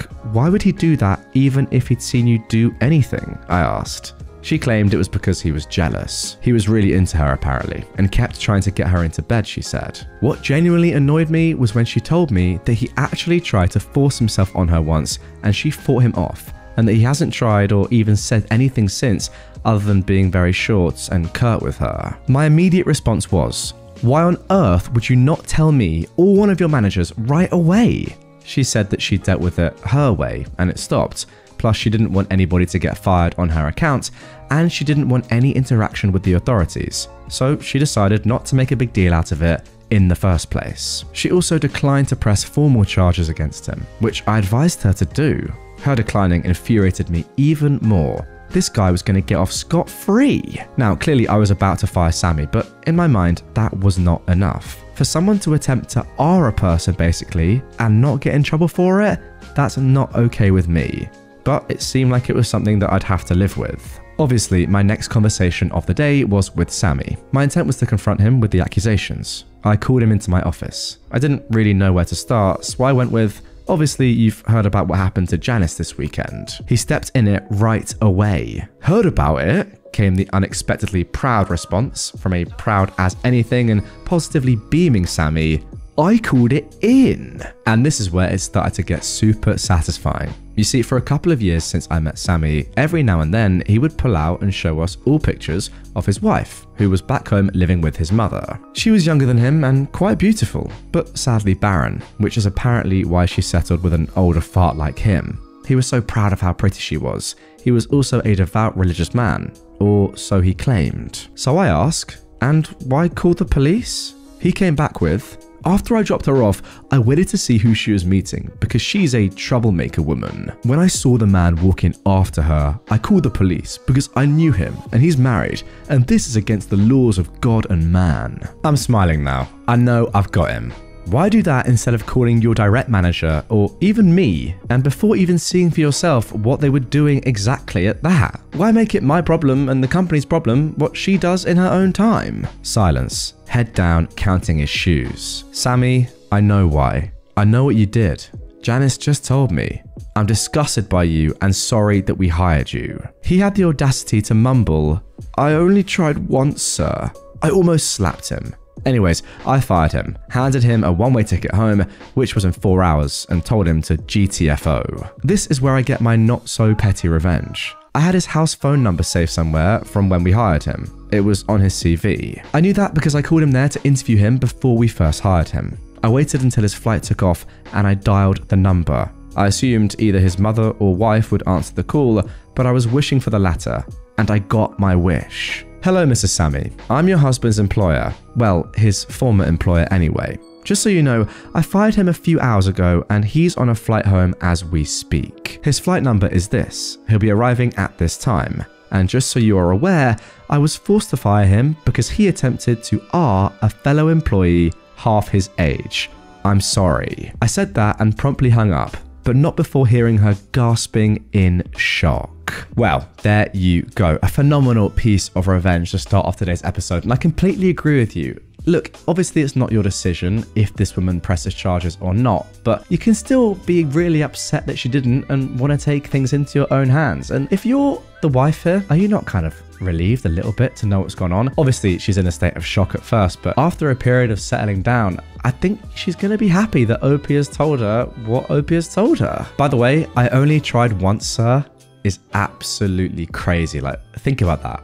What even is that for a sentence? Former manager made my life hell, and I finally got her fired. I was desperate to join a new job after my husband and I were both laid off last year. When I was offered a new role, I knew it would be a step down from what I was doing, but the manager and the team seemed great, and that part hasn't changed. However, since my manager Gary was so busy, he basically offloaded me to another manager, Jane. I was supposed to be the connection point between my team and Jane, but it quickly became Jane micromanaging me. She would ask me to work through lunch, move or cancel vacation days, call me at 11 pm on weekends, and order me around on phone calls. She would also make nasty comments about my weight and said that I was big for my race. The list of personal slights is so long that it filled three pages. I would talk back to her and she did not like that, and that provoked her more. I only stayed because we needed to pay the bills. Finally, I had a mental breakdown on a Friday afternoon after she yelled at me for something trivial about scheduling a meeting without including someone from her team who I didn't know about. I was dealing with a family tragedy and I couldn't take it anymore. I told Gary about the situation with Jane, and he was sympathetic and not at all surprised, considering half her team quit. He immediately offered to move me to a different team under him, and I was thrilled. Well, it turns out that going to the new team didn't help. Jane continued to order me around from afar. When I ignored her emails, she came to my desk one day and started loudly talking about how I'm not qualified for this role. Now, Gary overheard and finally told her off, but the verbal abuse did not stop. After two months there, I abruptly wrote my resignation letter, and I also stapled the list of Jane's offensive comments to it, CCing everyone. Gary offered a bunch of accommodation to try and keep me, but seeing how she was still provoking from afar, I said the only way for me to stay would be for her to go, and he just didn't have that authority. Her manager was in a different country, and despite several HR complaints from at least five people, nothing was done. So I left, loudly and without shame, telling everyone exactly why I was leaving. Times were very bad for three months. There were nights that we would eat slices of bread just so we could pay the mortgage and emergency expenses from a health crisis and a funeral. Even after my husband found a job, we were still catching up on bills, and we still are. I spent months applying to 5 to 10 roles per day, sometimes over 20. Last month, I saw a public memo about a big shot from a former company joining the company I just left. Now, I used to work with this guy closely, so I texted him, Congrats, let me know if you need any insights on the new place. We had a quick call where I told him some ins and outs, where I thought they could innovate, and after this call, he asked me to join the team as his chief of staff. I accepted. Imagine Jane's shock when we had our first all hands call. All the VPs and above were asked to welcome the new Big Shot in a giant conference room. In Big Shot's speech, he breezed over that I'll be his chief of staff, along with a few key names. I now sat two levels above Jane, and apparently, within the three months that I wasn't there, the other half of her team turned over. Every single person left. Gary was excited for me and said all nice things. However, Jane took the classless route and sent Big Shot an email about how I'm an unqualified idiot, that I used to work for her, how I tried to get her fired, and that she suspects that I lied to get ahead. She didn't even try to be fake nice. Big Shot forwarded me her email and asked what this was about. I was so nervous and excited. Little did Jane know I was a director at the Big Shot's competitor company under him and was already a level above her. So two levels now isn't a big leap. And I worked with him for five years. I had an hour call with Big Shot and told him she was bad for the company culture and was a nasty person in general. But the evidence he needed was Gary confirming that her whole team has turned over. My prior resignation letter, which was still sitting on my desktop when I logged in upon return, and a few other nasty emails she sent her recent staff, which they were happy to share with us. Big Shot fired Jane on Friday. Another great piece of revenge here. The only thing that slightly annoys me is that everyone knows that Jane is a terrible person, right? There's a reason why half her team has left and why I presume more and more employees were talking about leaving in the office, you know, people that worked under her. Why does it seem so hard to get people like this fired? You know, I don't have the authority. Oh, she's not done enough. I don't really care. Like, if someone's a terrible person and nobody enjoys working with them, then they shouldn't be at the company. To me, it seems as if this could have all been so easily avoided by everyone just saying, okay, look, let's be honest, guys. No one actually likes this woman and she's actually not very good at her job. Simple as that. Couldn't you just do that? I don't know. Maybe I'm missing something here, but nonetheless, a good outcome. I just feel like it could have been done so much sooner. And in that case, if it had been done sooner, loads of people would not have lost their jobs. Yeah, fair enough. You may have not ended up getting that amazing job that you have now, but in general, you know what I'm trying to say. A lot of people had to lose their jobs for Jane to finally be fired, and I'm not quite sure that's right. Tried to steal my legally rented parking spot enjoy being unemployed. This happened last night, but I'm now in a good enough spot to actually post this. I'm not quite sure if it qualifies as pro, but it definitely isn't petty. I am a professional driver, and as such, on the roads in the US, there are different truck stops throughout the country that has a pay to park system. Usually about 10 to 20% of the lot marked off as reserved, with each space running from 15 to $25. The truck stop where this took place had parking for $17, which is relatively cheap for a guaranteed spot. The spots are reserved for 24 hours, starting at 4pm local time and extending to 3pm the following afternoon. I knew that I would have a late night delivery, so I came to the truck stop at around 3.30 and paid for a reserve spot. I told the manager on duty that I had a delivery up the road that night and would be back once delivery was completed, but should still be able to clear out the spot by the next afternoon, which is today. She told me this was fine and she would mark the spot as sold when I left. That way, if someone else comes in trying to reserve that spot, she could consult her notes and deny the sale. Quarter past 11 rolls around. I take off for my delivery. I don't get out of that facility though until 2.30am the next morning, this morning. So I groggily drive back to the truck stop to reclaim my paid for spot, only to find that the reserved parking spaces are all full. I call the manager on duty and after giving her my info, I inform her that all the spots are full and that someone has parked in a spot and hasn't paid for it. She sends her other employee out to start checking trucks. The culprit was from a company that is known for their bright orange trailers, and he was a company driver. The other employee starts banging on his door to inform him that he is parked illegally and that he has to move. Meanwhile, I can see the commotion from my mirror with my vantage point in the fuel island where I've been instructed to temporarily park. The driver answers the door with a bottle of Heineken in one hand and some sort of smoking implement in another. I know what it is, but for the sake of the mods, I'm not gonna say it. I decided to roll down the window to hear the commotion, and I hear the employee tell the driver to either move or he will get the towing company and police involved. This driver is flat out irate that someone had the audacity to tell him where he can and cannot park, so he slams the door on the employee, threatening him. The employee calls the police and tow company, and the police show up first. I'd worked for this company before, so I know their policies, and more importantly, what they can and cannot have in their trucks alcoholic beverages are not allowed in the cab. Anything that isn't a cigarette or a cigar and a lighter, also not allowed the coup de grace, a pew pew of any kind, absolutely not allowed, and especially not allowed loaded. This driver had all of that and some other not so legal substances in his cab, so he was hauled away in cuffs. His truck was hauled away on a wrecker.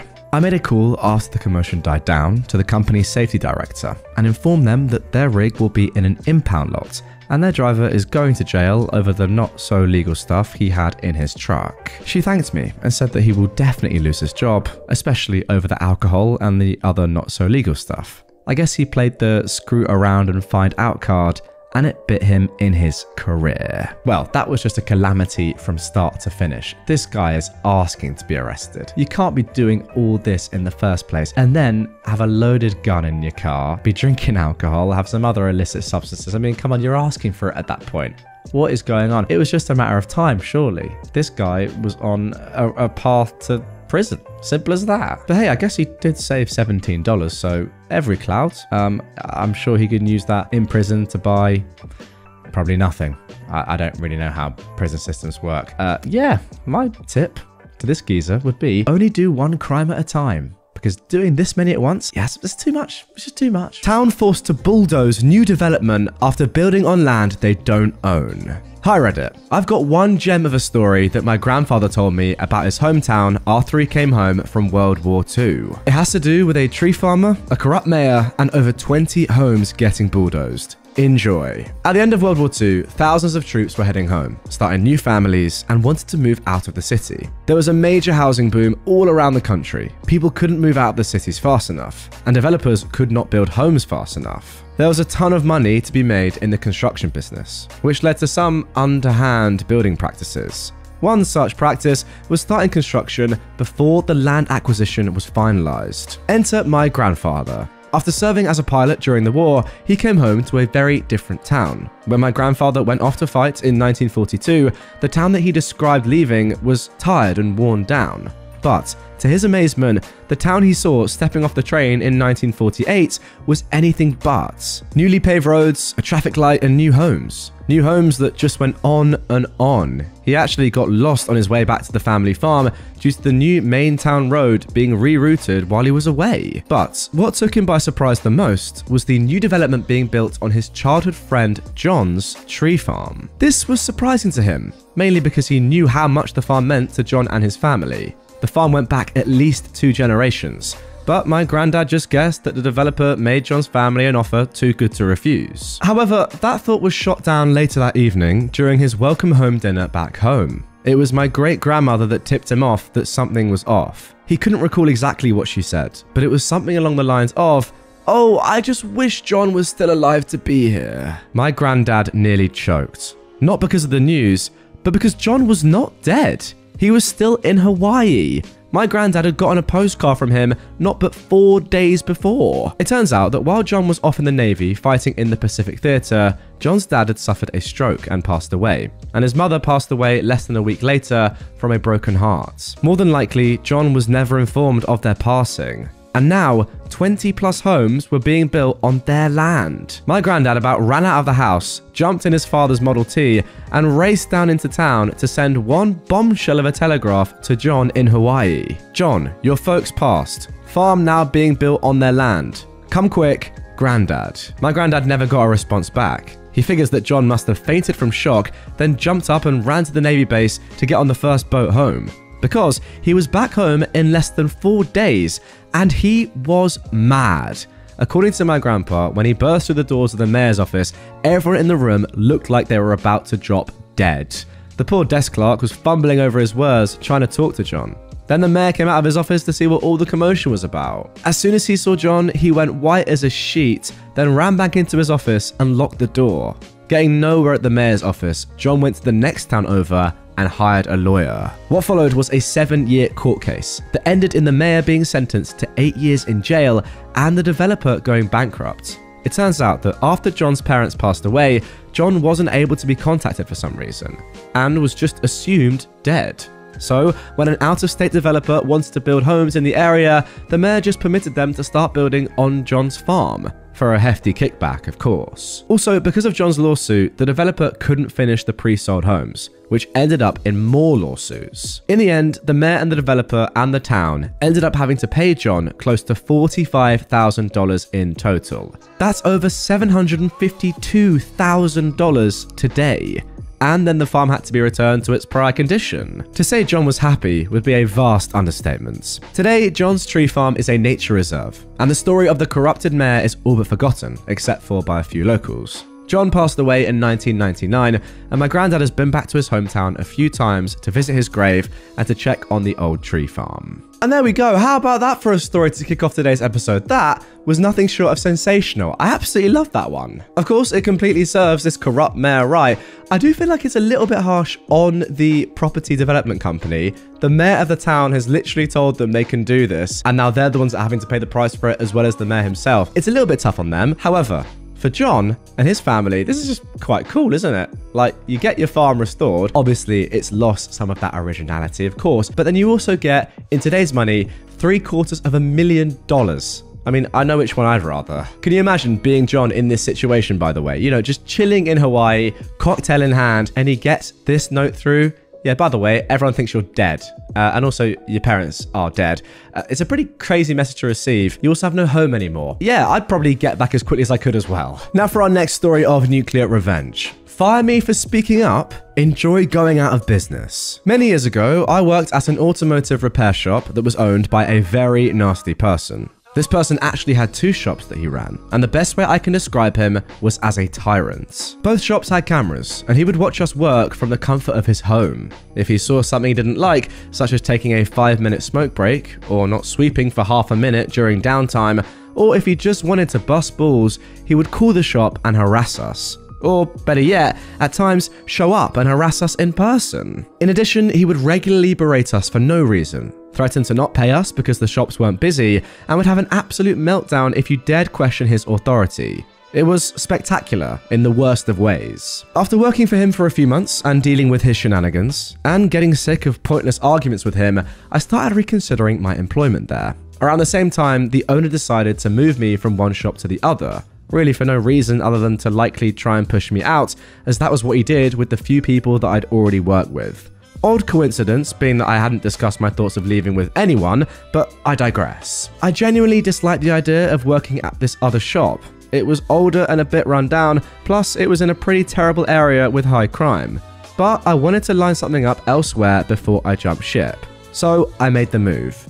This is where the beginning of the end started for old Mr. Owner. Once I got settled into the new shop, I got to talking with my fellow technicians. As it turns out, the owner was unsurprisingly a racist scumbag, and every single one of the employees at this location, aside from me, was African American. I'll spare the details, but let's just say it's a miracle that the owner came into the shop, said what he said, and walked out breathing. In addition, he would regularly send people home with no pay for the day just to be a jerk. Wow. This went on for weeks. Him coming by, being nasty to all of us, and I was just over it and was just about to leave as I'd lined up other employments. The other techs were also over it. I went to give the owner my two week notice via phone, discreetly, which I should have known wasn't a great idea, and instead of discussing it like a human, he decided to come down and talk face to face. Well, our friend was so incensed that I put my notice in that he forced me to clock out and go home and also forced two other techs who decided to stand up for me to do the same. I decided that I'd had enough of this guy's trash, and that not only did he deserve to have some kind of reciprocation against him, but the other techs deserve better than to continually be walked on. So, I filed a complaint with the Department of Labour and outlined everything. Within a few days, they'd launched an investigation, and of course, the owner found out who filed the complaint and called the shop and gave me heck about it. Stupidly though, because the phones he had were on recorded lines. Guess who I had request to listen to that conversation? In the end, I was terminated by him prior to my two weeks being up, as were the two techs who stood behind me. I filed for unemployment, which he fought me on by filing appeals with a judge, then not showing up three times in a row. This prompted the judge to bar him from requesting appeals against me and granting me full unemployment pay. Months later, I got a written letter from him extending an apology and an offer to work for him again. Two months later, I got a letter from the DOL saying that the investigation was closed and that he'd been found guilty of multiple charges and was barred from operating a shop or any other business in the state for several years. Wow, I must say, I did not see that curveball coming at the end. Just when he knew he was about to be in massive, massive legal trouble, he was like, you know what? I'm going to try one more time. Actually, do you want to come back and work for me? We had a great employee-employer relationship. I think we could amend this and get back to what we once were. I, that's, yeah, fair play for trying, mate. Fair play for trying, but, uh, See you in the cells. Anyway, guys, that is going to do it for this special three hour episode of Nuclear Revenge. As I said in the intro, some of my favorite stories of the year so far in that one. Let me know down below in the comments. Which one out of all those was your favorite? I'm not gonna lie, I really did like the first one. It's just just very good. Laying down the law in the most nuclear of ways, having to rebuild an entire building by hand it's just just brilliant. Brick by brick. Amazing three words. Just like, subscribe to me, and thanks for watching. See you later.